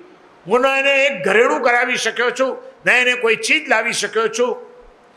શું કરું? રોટલો માંડ નીકળે છે ત્યાં, કેવી રીતે હું એને કંઈક કરું? પણ ક્યારેક કંઈક મોકો મળી જાય, મારે કંઈક તો એને કંઈક આપવું જોઈએ. એ નથી માગતી, એ એની વિશેષતા છે પણ મારો પ્રેમ એમ કે છે કે ન માગે છતાં દરેક સ્ત્રીને કંઈક ઘરેણાની ઈચ્છા હોય. આ ઘરેણાનો મોહ આજકાલનો નથી. પરાપૂર્વથી ચાલ્યો આવ્યો છે. સ્ત્રીઓને હંમેશા આભૂષણનો મોહ હોય જ. સમજી જ લેવાનું. અને એ સમજીને અનુકૂળતાએ જો પુરુષો કરી આપે પૂરો, તો વાંધો ના આવે. નહીં તો પછી મજબૂરીથી કરી આપવું પડે. પેલાને વિચાર આવે છે કે આણે કોઈ દિવસ કંઈ માગ્યું નથી, પણ મારી ફરજ છે, મારે કંઈક એને કરવું જોઈએ. એટલે ધીમે ધીમે ધીમે ધીમે થોડા થોડા થોડા થોડા થોડા થોડા પૈસા એણે બચાવ્યા. એમ કરીને એ જમાનો સત્તરમી શતાબ્દીનું મેં કીધું હતું ને કે રોજનો એક રૂપિયો આપતા હતા પંડિતને ભણાવવા માટે. એ વખતે તો રૂપિયાની એ કિંમત હતી. બચાવી, બચાવીને આ ભાઈએ સો રૂપિયા ભેગા કર્યા. સો રૂપિયા ભેગા થયા. એટલે આને વિચાર આવ્યો કે હવે મારી પાસે સો રૂપિયાની મૂડી થઈ ગઈ છે. મારી પત્નીને માટે મારે કોઈક ચીજ આજે લઈ જવી છે. સો રૂપિયા લઈને બજારમાં ગયો. એક ઝવેરીને ત્યાં ગયો. ઝવેરીને ત્યાં ગયો અને એને કહે છે કે ભાઈ, આ મારી પાસે સો રૂપિયા છે. રાખો તમે સો રૂપિયા. સો રૂપિયામાં આવે એવું એક કોઈક સારું ઘરેણું મને આપો. મેં લગ્ન કર્યા પછી મારી પત્નીને કોઈ દિવસ કંઈ આપ્યું નથી. આજે મારા લગ્ન જીવનની પહેલી ભેટ મારે મારી પત્નીને આપીશ. એટલે સારું જે આવે એ મને તમે કંઈક આપો. પહેલાંએ એક નાકમાં પહેરવાની નથની નાનો હીરો લગાડેલી. કીધું કે તમારા સો રૂપિયામાં આ નથની આવી શકે એમ છે અને તમારી પત્નીને સૂટ બી થશે. ખુશ થઈ ગયો. જે મળે તે સો રૂપિયામાં. નથની લઈ લીધી. નથની લઈને એને સરપ્રાઈઝ આપવાની હતી આજે પત્નીને. કીધું નથી. પણ ખુશ છે કે આજે લગ્ન પછી કેટલા વર્ષો પછી આજે પહેલી ભેટ મારી પત્નીને હું આપીશ. રાજી થતો થતો થતો થતો ઘરે આવે છે. અને માણસ ઘરમાં પગ મૂકે ને ત્યાં જ ખબર પડી જાય એના મૂળની. કે આજે મૂળમાં છે ભાઈ કે મૂળ આઉટ છે. તમે આમ પગ મૂકો તો ખબર ન પડી જાય. બહેનો તો બહુ હોશિયાર પાછી એમાં. પગ મૂકતા તમને પારખી લે કે આમાં આજે વાત કરવામાં મજા છે કે નથી. હા, એ લોકોએ અવસર જોઈને વાત કરે. પેલી બાઈ એટલી સુશીલ છે, એને કોઈ દિવસ કંઈ માંગણી કરી નથી, નહીં, અપેક્ષા મનમાં રાખી નથી. એ તો બે જણાનો કામ શું હોય ઘરમાં? કામ કરી લીધું, બપોર થાય એટલે રામાયણ લઈને બેસી જાય. રામાયણનો પાઠ કરતી હોય. ગીતાનો પાઠ કરતી હોય, ભગવાનના ભજન ગાતી હોય, બસ એ જ રીતે એણે તો પોતાના મનને, માણસ મનને જો બીજે ક્યાંક વાળી લે ને, તો ખોટી ખોટી ઈચ્છાઓની અશાંતિથી એ બચી જાય. આ મનને વાળીએ નહીં એની તકલીફ. આ બાઈએ પોતાના મનને ભગવત ભક્તિમાં વાળી લીધું હતું. ભજનો ગાવાના, ગીતા પાઠ કરવાનો, રામાયણનો સ્વાધ્યાય કરવાનો, અને શાંતિથી એકલી એકલી ઘરે દિવસે પસાર કરે, પુરુષ ધંધો કરે સાંજ પડે ખીચડીના પૈસા આવી જાય એટલે ખાઈને બે જણા ભગવાનનું ભજન ગાઈને સૂઈ જાય. આજે આ સાંજે આવ્યો. હસતો આમ એટલો ખુશ છે. ઘરમાં આવ્યો. એટલે ઘરવાળીએ જોયું. તરત જ લાગ્યું કે આજે કંઈક ચહેરામાં ચમક જુદી છે. કેમ આજે તમે બહુ ખુશ દેખાવ છો? અરે બહુ મજા આવી ગઈ છે. શું છે પણ? આવની તું અંદર આવની આવની અંદર બતાડું, ચાલ. અંદર લઈ ગયો. અંદર લઈ જઈને થેલીમાંથી ડબ્બી કાઢી. ડબ્બી ખોલી અને કે જો, આજે હું લગ્ન પછી આ પહેલી વખત તારા માટે નાકની નથની લઈ આવ્યો છું. નથની જોઈ, હીરાની નથની, સરસ મજાની. બાઈ તરત જ કે છે, તમે આ શું કર્યું? મેં ક્યાં તમને કીધું હતું કે મારે કંઈ જોઈએ છે? મેં કોઈ દિવસ તમારી પાસે કંઈ માંગ્યું છે? ખોટા ખર્ચા શું કામ કરવાના? આપણી એવી કોઈ સ્થિતિ નથી કે આપણે આવા ખોટા ખર્ચા કરીએ. અરે, એ બરાબર છે, તે માંગ્યું નથી, પણ મને તો કંઈ મન થાય કે નહીં? મને તારી ઉપર કેટલો બધો પ્રેમ છે? તને કંઈ આપવાનું મને મન ન થાય? આજે હું મારા મનને માટે લઈ આવ્યો છું, મારી ખુશી માટે લઈ આવ્યો છું. અરે, પણ એવા ખોટા પૈસા ન ઉડાડાય, સો રૂપિયા બચ્યા હતા તો રાખી મૂકવાતા સાજે માંદે ક્યાંક કોઈક અવસરે કામ લાગત આપણને. જીવનમાં કોઈ તકલીફ આવે ત્યારે આવા ખોટા ખર્ચા કરવાની શું જરૂર હતી? અમારી આ બધી માતાઓ આવું તમને ખેતી થઈ જાય. કેટલી મજા આવી જાય. આ કઈ નથી કે એ આનાથી ઝવેરાતથી મારી શોભા છે. તમારા જેવું ઊંચું ઘરેણું મને મળ્યું છે, પછી બીજા ઘરેણાની મારે જરૂર છે. આણે કીધું, કાંઈ નહીં આવે તો માથાકૂટ નહીં કર. હું લાવ્યો છું તારે રાખવાની છે ને તારે પહેરવાની છે. બીજી કંઈ માથાકૂટ નહીં જોઈએ. મૂકી દે. મૂકી દીધી. જો અત્યાર સુધીના દિવસો એના શેમાં ગયા હતા? ભગવાનના ભજન, રામાયણ ગીતા પાઠ કાંઈ નહીં. કોઈ ચીજ નથી પણ હવે એક નાનકડું નિમિત્ત આવ્યું એના જીવનમાં. અનાદિકાળના જીવમાં પડેલા અહંકારના લોક પ્રશંસાના પોતાની મોટાઈ બતાડવાના આ બધા સંસ્કારો પડેલા હોય છે એને નિમિત્ત મળે એટલી જ વાર. આવ્યા પતિ જમાડ્યા, સુઈ ગયા, પતિ સુઈ ગયો, પણ આની ઊંઘ આરામ થઈ ગઈ. એક નાનકડી નથનીએ આવીને આને ચક્કરે ચડાવી. બાઈ રાતના પથારીમાં પડી પડી વિચાર કરે છે, ઓહો, સો રૂપિયાની નથની. કાલે હું પહેરવાની. આઈ એમ સમથિંગ આપણે કોઈ હવે જેવા તેવા નથી. સો રૂપિયાની હીરાની નથની પહેરનારી બાઈ છું. લોકોને ખબર પડવી જોઈએ કે હવે અમે જેવા તેવા માણસને ભોગનો આનંદ એટલો નથી જેટલો પ્રદર્શનનો આનંદ વધારે હોય છે. પોતે મળ્યું છે ને ભોગવી લે એનો આનંદ નથી. પણ મારી પાસે આ છે, દસ જણાને દેખાડે નહીં અને દસ જણા એના વખાણ કરે નહીં. ત્યાં સુધી મજા આવે સાચું કહેજો. ગમે એવું સારામાં સારું ઘરેણું બનાવ્યું હોય. પણ એ ચાર પડોસણોને બતાડે, સગાવાળાને બતાડે, કેવું લાગે છે? અને ત્યારે એની કોઈ દેરાણી, જેઠાણી, કોઈ કે, છે બાકી હો, તમારા મિસ્ટરે બનાવી છે, લેટેસ્ટ ડિઝાઇન છે આ તો. તો એને એમ થાય, હા, હવે બરાબર. અને એમાં જો કોકે કીધું બનાવી બનાવીને આવું હું બનાવ્યું, આ તો બહુ જૂની થઈ ગઈ હવે ડિઝાઇન. તો ભલે ને પછી લાખ રૂપિયાનું ઘરેણું હોય, પતી ગયું, ધૂળ પડી ગઈ. માણસને ભોગવવાનો આનંદ નથી જોઈતો, પ્રદર્શનનો આનંદ જોઈએ છે. આ ભાઈને રાતના ઊંઘ ના આવી. એને એમ થઈ ગયું કે બધા લોકો તો આપણને કંગાળ જ સમજે છે. હવે મારે બધાને ખબર તો પાડવી જ જોઈએ કે હું કોઈ સામાન્ય સ્ત્રી નથી. હું સો રૂપિયાની નથની પહેરનારી બાઈ છું. શું કરું? કેવી રીતે બધાને ખબર પડે? રાતના એક એણે પ્લાનિંગ કરી નાખ્યું. પ્લાનિંગ કરી નાખ્યું. બીજે દિવસે સવારે ચા પાણી બાપાણી બધું પતાવ્યું. એના પતિ ધંધે ગયો. રસોઈનું કામ પતાવી, નવરી પડી. રોજ તો જેવી નવરી પડે એટલે રામાયણ લઈને બેસતી હતી. આજે નવરી પડી પણ રામાયણ યાદ નથી આવતી. એને નથની પહેરનારી બાઈ છું, નથની યાદ આવી. ખબર પડવી જોઈએ આજુબાજુ વાળું બધાને. એટલે લીધી હાથમાં ડબ્બી.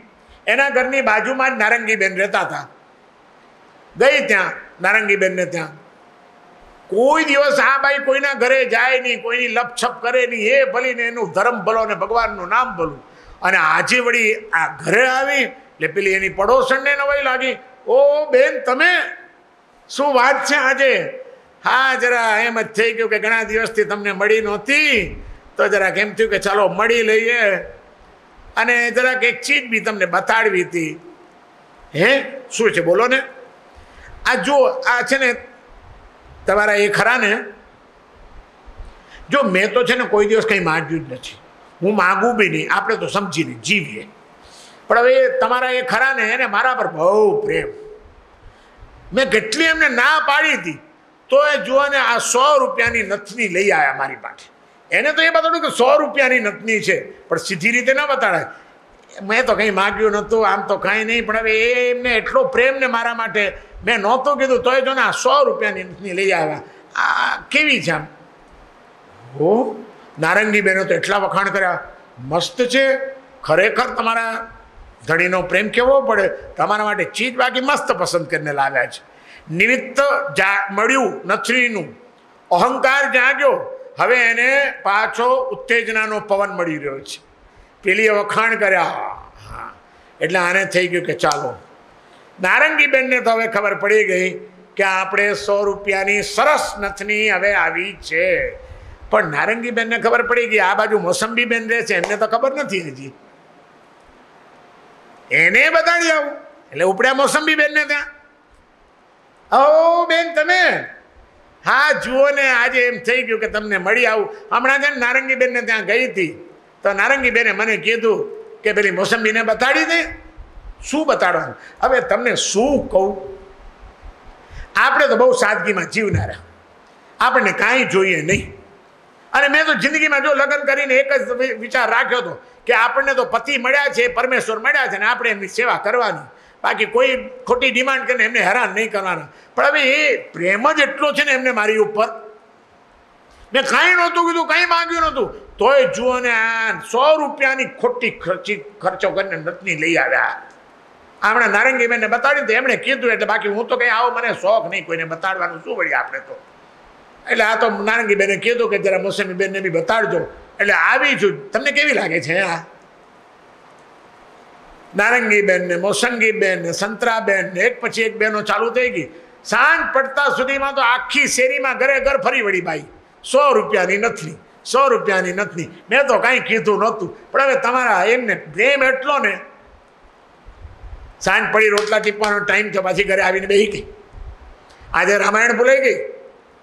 ગીતા ઊંચી મુકાઈ ગઈ. ઉદીરયિષ્યસી શ્વાંતાદ અસ્થૈર્યમ પવનમ યદી. સમાધેર ધર્મ મેઘસ્ય ઘટામ વિઘટયિષ્યસી ધર્મની ઘટાને વિઘટન કરી નાખે એક પવન જો અસ્થિરતાનો વાયો તો ચિત્તમાં અસ્થિરતાનો પવન આવ્યો સુઈ ગયા રાતના વળી પાછી ઊંઘ આરામ સંકલ્પ વિકલ્પ તમને સ્થિરતાથી જીવવા ન દે આ શેરીવાળાને તો ખબર પડી ગઈ પણ બાજુની શેરીવાળાને હજી ક્યાં ખબર છે કે હું સો રૂપિયાની નથની પહેરનારી બાઈ છું એને બી ખબર તો પડવી જ જોઈએ ને. આપણે કોઈ હવે કોઈ જેવા તેવા તો નથી. એટલે બીજે દિવસે નવરી પડી એટલે બાજુની શેરી. ઘરે ઘર જવાનું. હે જુઓ ને, આ તમારા ભાઈ ખરા ને? એમને મારી ઉપર બહુ પ્રેમો આ જો સો રૂપિયાની નથી લઈ આવે હવે રોજનો ધંધો થઈ ગયો. એક એક શેરી પકડવાની. આખા ગામમાં ખબર પડવી જોઈએ. આ શેરીવાળાને આ શેરીવાળાને બધાને બતાડી દીધું. વળી રાતના વગરમાં ચક્કર એક જ ચાલે. હું સો રૂપિયાની નથની પહેરનારી બાઈ છું. લોકોને ખબર પડવી જોઈએ આપણે જેવા તેવા નથી. અહંકાર અસ્થિર બનાવે છે ચિત્તને. આસક્તિ સો રૂપિયાની નથની. આસક્તિ અસ્થિર અને પાગલ બનાવે છે વ્યક્તિને. આ શેરી આ શેરી, બે ચાર શેરીમાં બધે બતાડી આવ્યા એટલામાં તુલસીદાસજીની ત્યાં રામકથા યોજાઈ. અને તુલસીદાસજી આવવાના છે એટલે કથામાં અકડે ટટપીડ થવાની. આ વિચાર કરે છે કે આજુબાજુવાળાને તો બધાને ખબર પડી ગઈ. પણ આખા ગામને હજી ક્યાં ખબર પડી છે?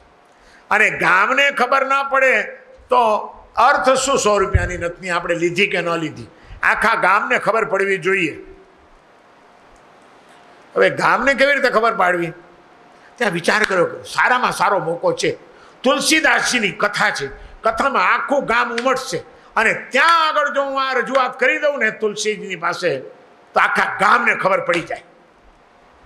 માણસને જ્યારે કોઈ મગજમાં પાગલપણું જાગે ને, ત્યારે વિવેક પણ ભૂલાઈ જતો હોય છે કે સાધુ સંતને શું બતાડાય ને શું ન બતાડાય.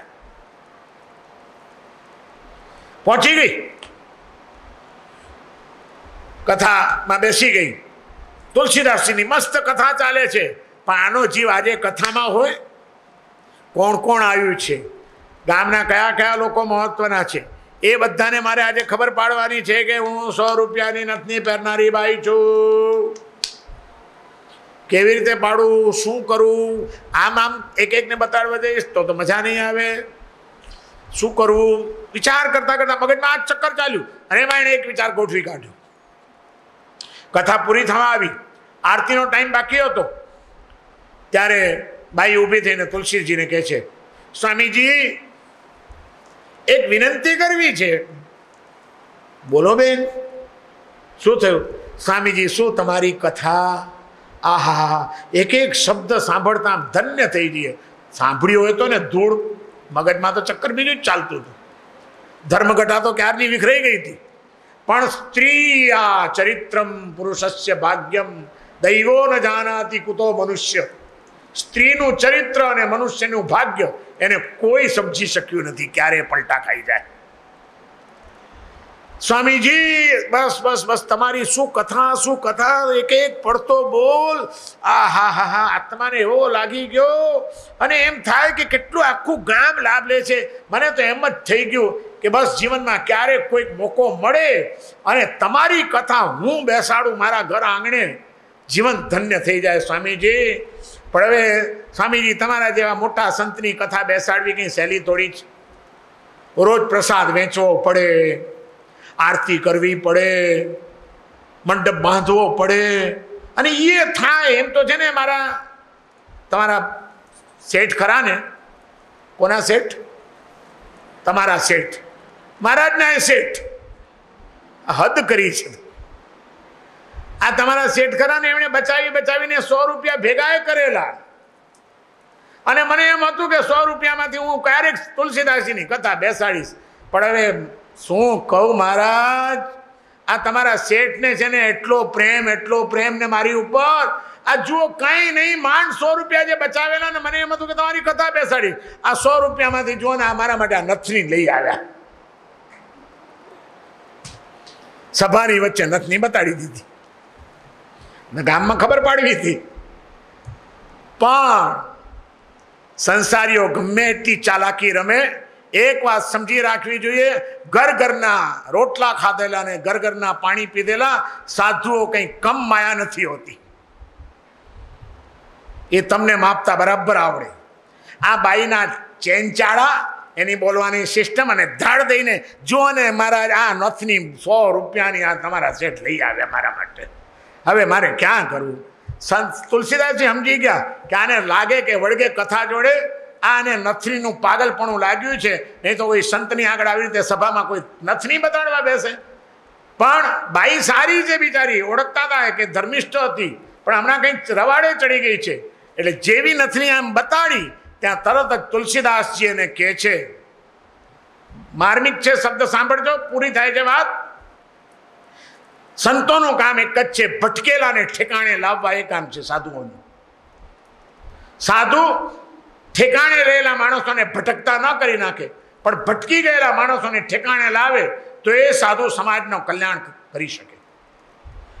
સમજી ગયા સંત તુલસીદાસજી તો કે આ બાઈનો અહંકાર છલકાય છે, બીજું કંઈ જ નથી.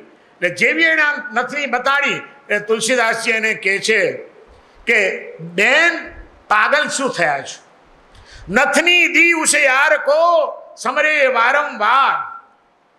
સંત તુલસીદાસજી કહે છે, નથની દી ઉસે યાર કો સમરે વારંવાર. ના કદિયા ઉસ નાથ કો ભૂલ ગઈ ગવાર. ના કદિયા ઉસ નાથ કો ભૂલ ગઈ ગવાર આ નથનીની પાછળ એ નથની જે નાક ઉપર પહેરવાની છે ને, એ નાક જે ભગવાને આપ્યું એ ભગવાનને તું ભૂલી ગઈ. નથની દી ઉસ યાર કો સમરે વારંવાર, નાક દિયા ઉસ નાથ કો ભૂલ ગઈ ગવાર.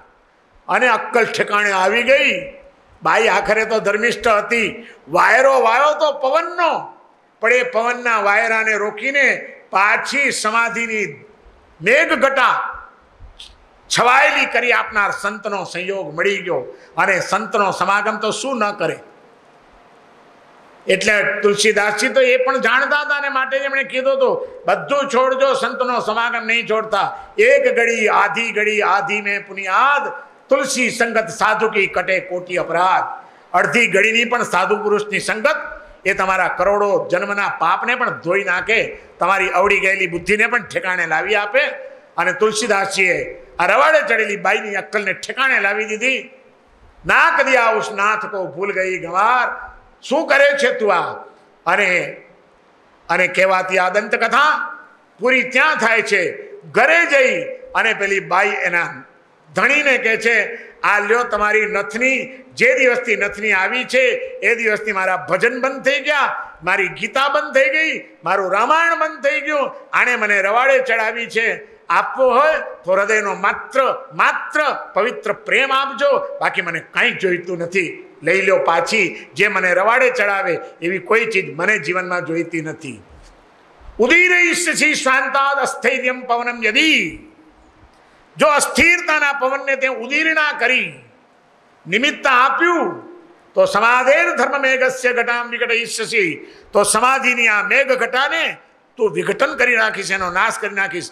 માટે જીવનમાં કોઈ પણ અશુભ નિમિત્તોથી હંમેશા બચતા રહેજો. અશુભ નિમિત્તો આપણી સ્થિરતાને ખંડિત કરી નાખ્યા વિના રહેતા નથી. આ પ્રેરણા એમણે સાતમા શ્લોકમાં કરી અને છેલ્લો આઠમો શ્લોક છે ચારિત્રમ સ્થિરતા રૂપમ અત સિદ્ધેષ્વપિષ્યતે યતંતામ યતો વશ્યમ અશ્યા એવ પ્રસિદ્ધે. ચારિત્રમ સ્થિરતા રૂપમ. ચારિત્ર શું છે? ચારિત્ર એટલે શું? ક્રિયા કરવી એનું નામ ચારિત્ર? સાધુપણાના કપડાં પહેરી લેવા એનું નામ ચારિત્ર? થોડા ઘણા વિધિ વિધાનોનું પાલન કરી લેવું એનું નામ ચારિત્ર? ના. તાત્વિક દ્રષ્ટિએ ચારિત્ર એટલે બીજું કંઈ જ નથી. આત્મ સ્વરૂપમાં સ્થિરતા સ્વ સ્વરૂપની અંદર રમણતા એ જ તાત્વિક ચારિત્ર છે. અને એટલા માટે યશોજીજી મહારાજ કહે છે કે ચારિત્રમ સ્થિરતા રૂપમ અત સિદ્ધિસ્વપિષ્યતે. માટે જ જો સ્થિરતારૂપ ચારિત્ર છે, માટે જે સિદ્ધ ભગવંતોમાં પણ ઘટી શકે છે. આઠ, કર્મથી મુક્ત થાય આત્મા એટલે સિદ્ધત્વને પ્રાપ્ત કરે.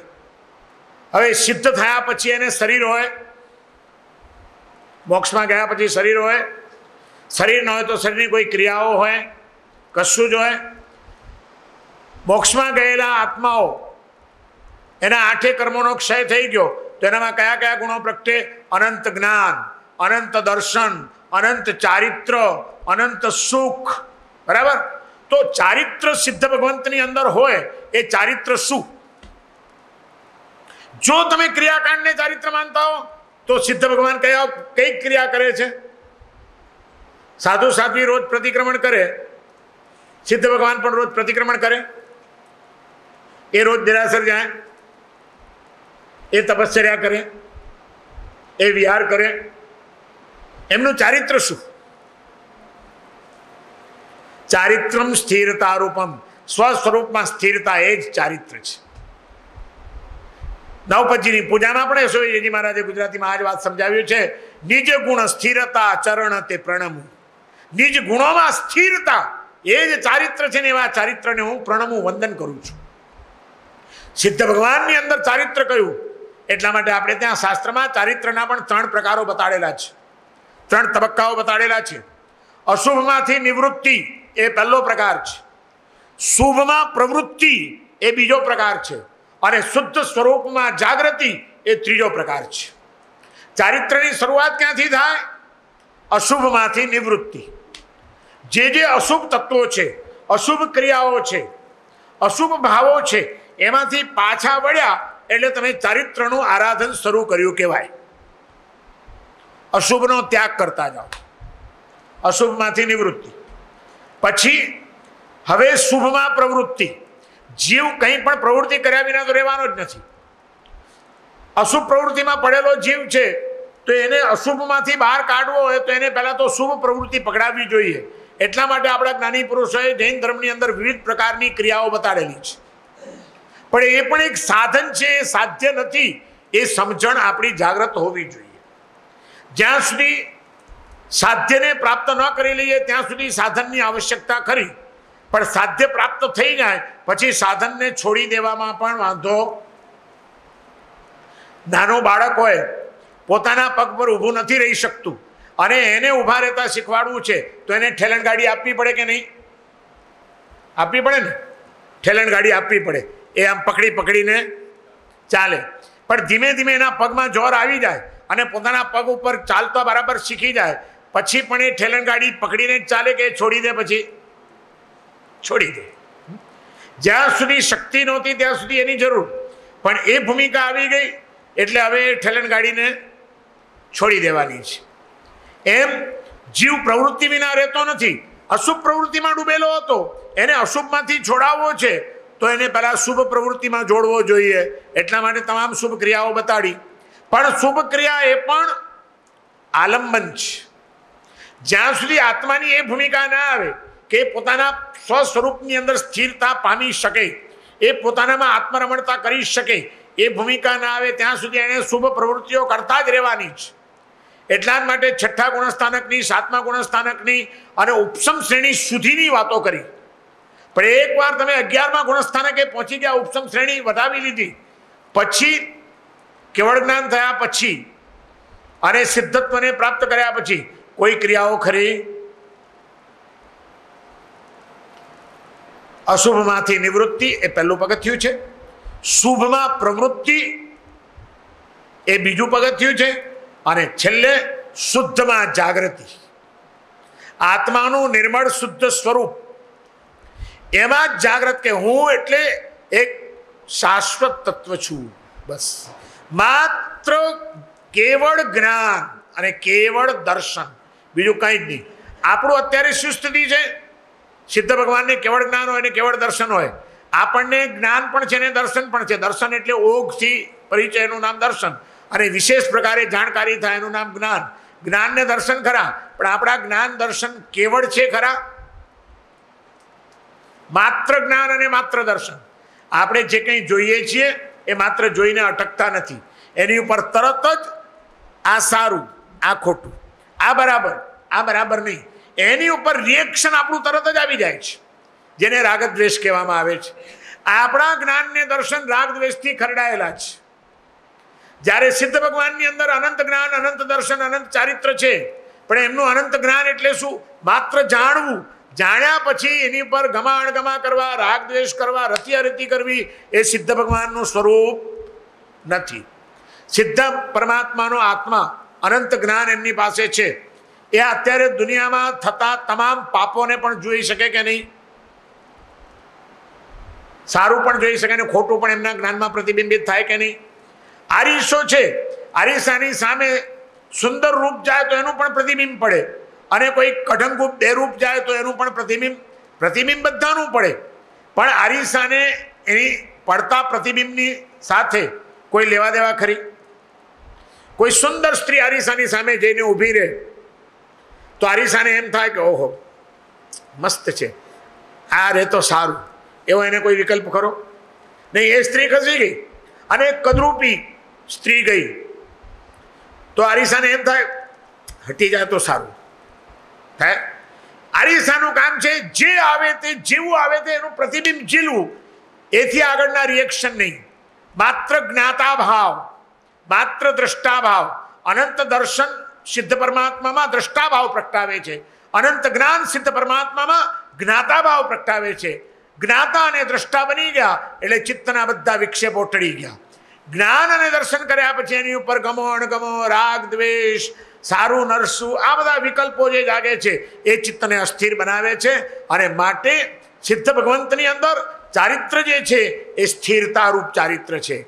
એટલે કે આ સ્થિરતા અષ્ટકનો મહિમા છેલ્લા શ્લોકમાં, આઠમા શ્લોકમાં આ હદે સમજાવે છે યશો વિજયજી મહારાજ કે ચારિત્રમ સ્થિરતા રૂપમ અત સિદ્ધેશ્વપિષ્યતે સ્થિરતા એ જ ચારિત્ર છે અને માટે જ એ અનંત ચારિત્ર એ સિદ્ધ ભગવંતની અંદર ઘટિત થઈ શકે છે. યતંતામ યતયો વશ્યમ અશ્યા એવ પ્રસિદ્ધ. અને એટલા માટે યતિઓએ યતિઓ એટલે કે મુનિઓએ, સાધુઓએ જેમણે સંસારનો ત્યાગ કરી અને સાધનાનો માર્ગ સ્વીકાર્યો છે. એમણે તો સતત એક જ યત્ન કરવો જોઈએ. યતંતામ યતયો અવશ્યમ. યતિઓએ અવશ્ય યતંતામ યત્ન કરવો જોઈએ. અશ્યા એવ પ્રસિદ્ધ. અશ્ય એટલે ચારિત્ર. સ્થિરતારૂપ ચારિત્ર. એની સિદ્ધિ કેમ પ્રાપ્ત થાય? મારા જીવનમાં સ્થિરતા કેમ આવે? સંકલ્પ વિકલ્પ રહિત એવું મારું ચિત્ત કેમ બને? એ માટે સતત જાગ્રત રહીને એમણે આ પ્રયત્ન કરવો જોઈએ. આ છેલ્લી પ્રેરણા આપી અને સ્થિરતા એ જ સિદ્ધત્વનો એક પર્યાય છે. અને આખરે જીવનું લક્ષ્ય શિવ બનવાનું છે, સિદ્ધ થવાનું છે. અસિદ્ધ દશામાંથી સિદ્ધ થવું એ આપણા જીવનનું અંતિમ લક્ષ્ય છે અને સિદ્ધ થવું એટલે સ્થિર થવું. સ્થિરતા એ સિદ્ધત્વની પ્રાપ્તિનું પરિણામ છે અને એટલા માટે સ્થિરતા મહત્વની છે.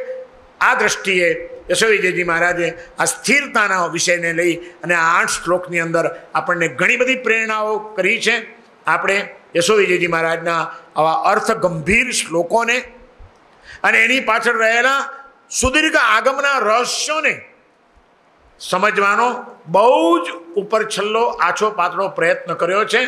કારણ કે આવા જ્ઞાની મહાપુરુષ એમના એક એક શબ્દની પાછળ રહેલા તાત્પર્યો અને ઐદંપર્યાર્થો એને સમજવાની આપણી કોઈ ક્ષમતા જ નથી. આપણે બહુ અલ્પમંદ બુદ્ધિવાળા છીએ. આપણો ક્ષમ ઘણો મર્યાદિત છે. અને આ મહાપુરુષોની દ્રષ્ટિ, એમનું જ્ઞાન અને એમના શબ્દોની પાછળ રહેલું રહસ્ય અગાધ હોય છે. છતાં, પૂર્ણ સજાગપણે એ યશો વિજયજી મહારાજની આંતર મનસ્થિતિને કે એમની અંદરની ભાવનાને સમજવાની કોશિશ કરી અને આપણે એમના શ્લોકોનું યથાશક્ય, યથામતી વિવેચન કરવાનો એક પ્રયત્ન કર્યો છે. છતાં એમાં કંઈ પણ ક્ષતિ રહી ગઈ હોય, ક્યાંય પણ યશો વિજયજી મહારાજની ભાવનાને અન્યાય થયો હોય, કે જિનાગના વિરુદ્ધ કોઈ પણ નિરૂપણ થઈ ગયું હોય, તો એને માટે હું અંતઃકરણપૂર્વક મિચ્છામી કરવા માગું છું. યશોવિજયજી મહારાજને પણ ક્યાંય પણ એમની દ્રષ્ટિથી વિરુદ્ધ એમના નામે એમના જીવન વિશે કંઈ પણ કહેવાઈ ગયું હોય તો એમના ચરણોમાં પણ ક્ષમા માગું છું કે આપણી આ ક્ષતિને ક્ષમા કરે અને એમની અનંત જ્ઞાનની કરુણા હંમેશા આપણા ઉપર વરસાવતા રહે કે એમના જેવી જ્ઞાન દ્રષ્ટિ આપણને બધાને મળે અને આપણને મહાન પુણ્યના ઉદયથી મળેલો પ્રભુ વિતરાગનો આ માર્ગ એને આપણે આ જીવનમાં કંઈક પામી લઈએ, એના રહસ્યોને પામી લઈએ અને આ જીવનને આપણે ખરેખર ધન્ય બનાવી અને સફળતા પ્રાપ્ત કરીએ એવી કૃપા આ સદગુરુઓની અને પરમાત્માની આપણા સૌની ઉપર ઉતરે એવી પ્રાર્થના સાથે જ્ઞાન સારના આ સ્થિરતા અષ્ટકને અહીં આગળ વિરામ આપું છું. ઓમ શાંતિ. સર્વમંગલ માંગલ્યમ, સર્વકલ્યાણ કારણમ, પ્રધાનમ સર્વધર્માણામ, જૈનમ જયતિ શાસનમ બોલો, મંગલકારી પાર્શ્વનાથ ભગવાન કી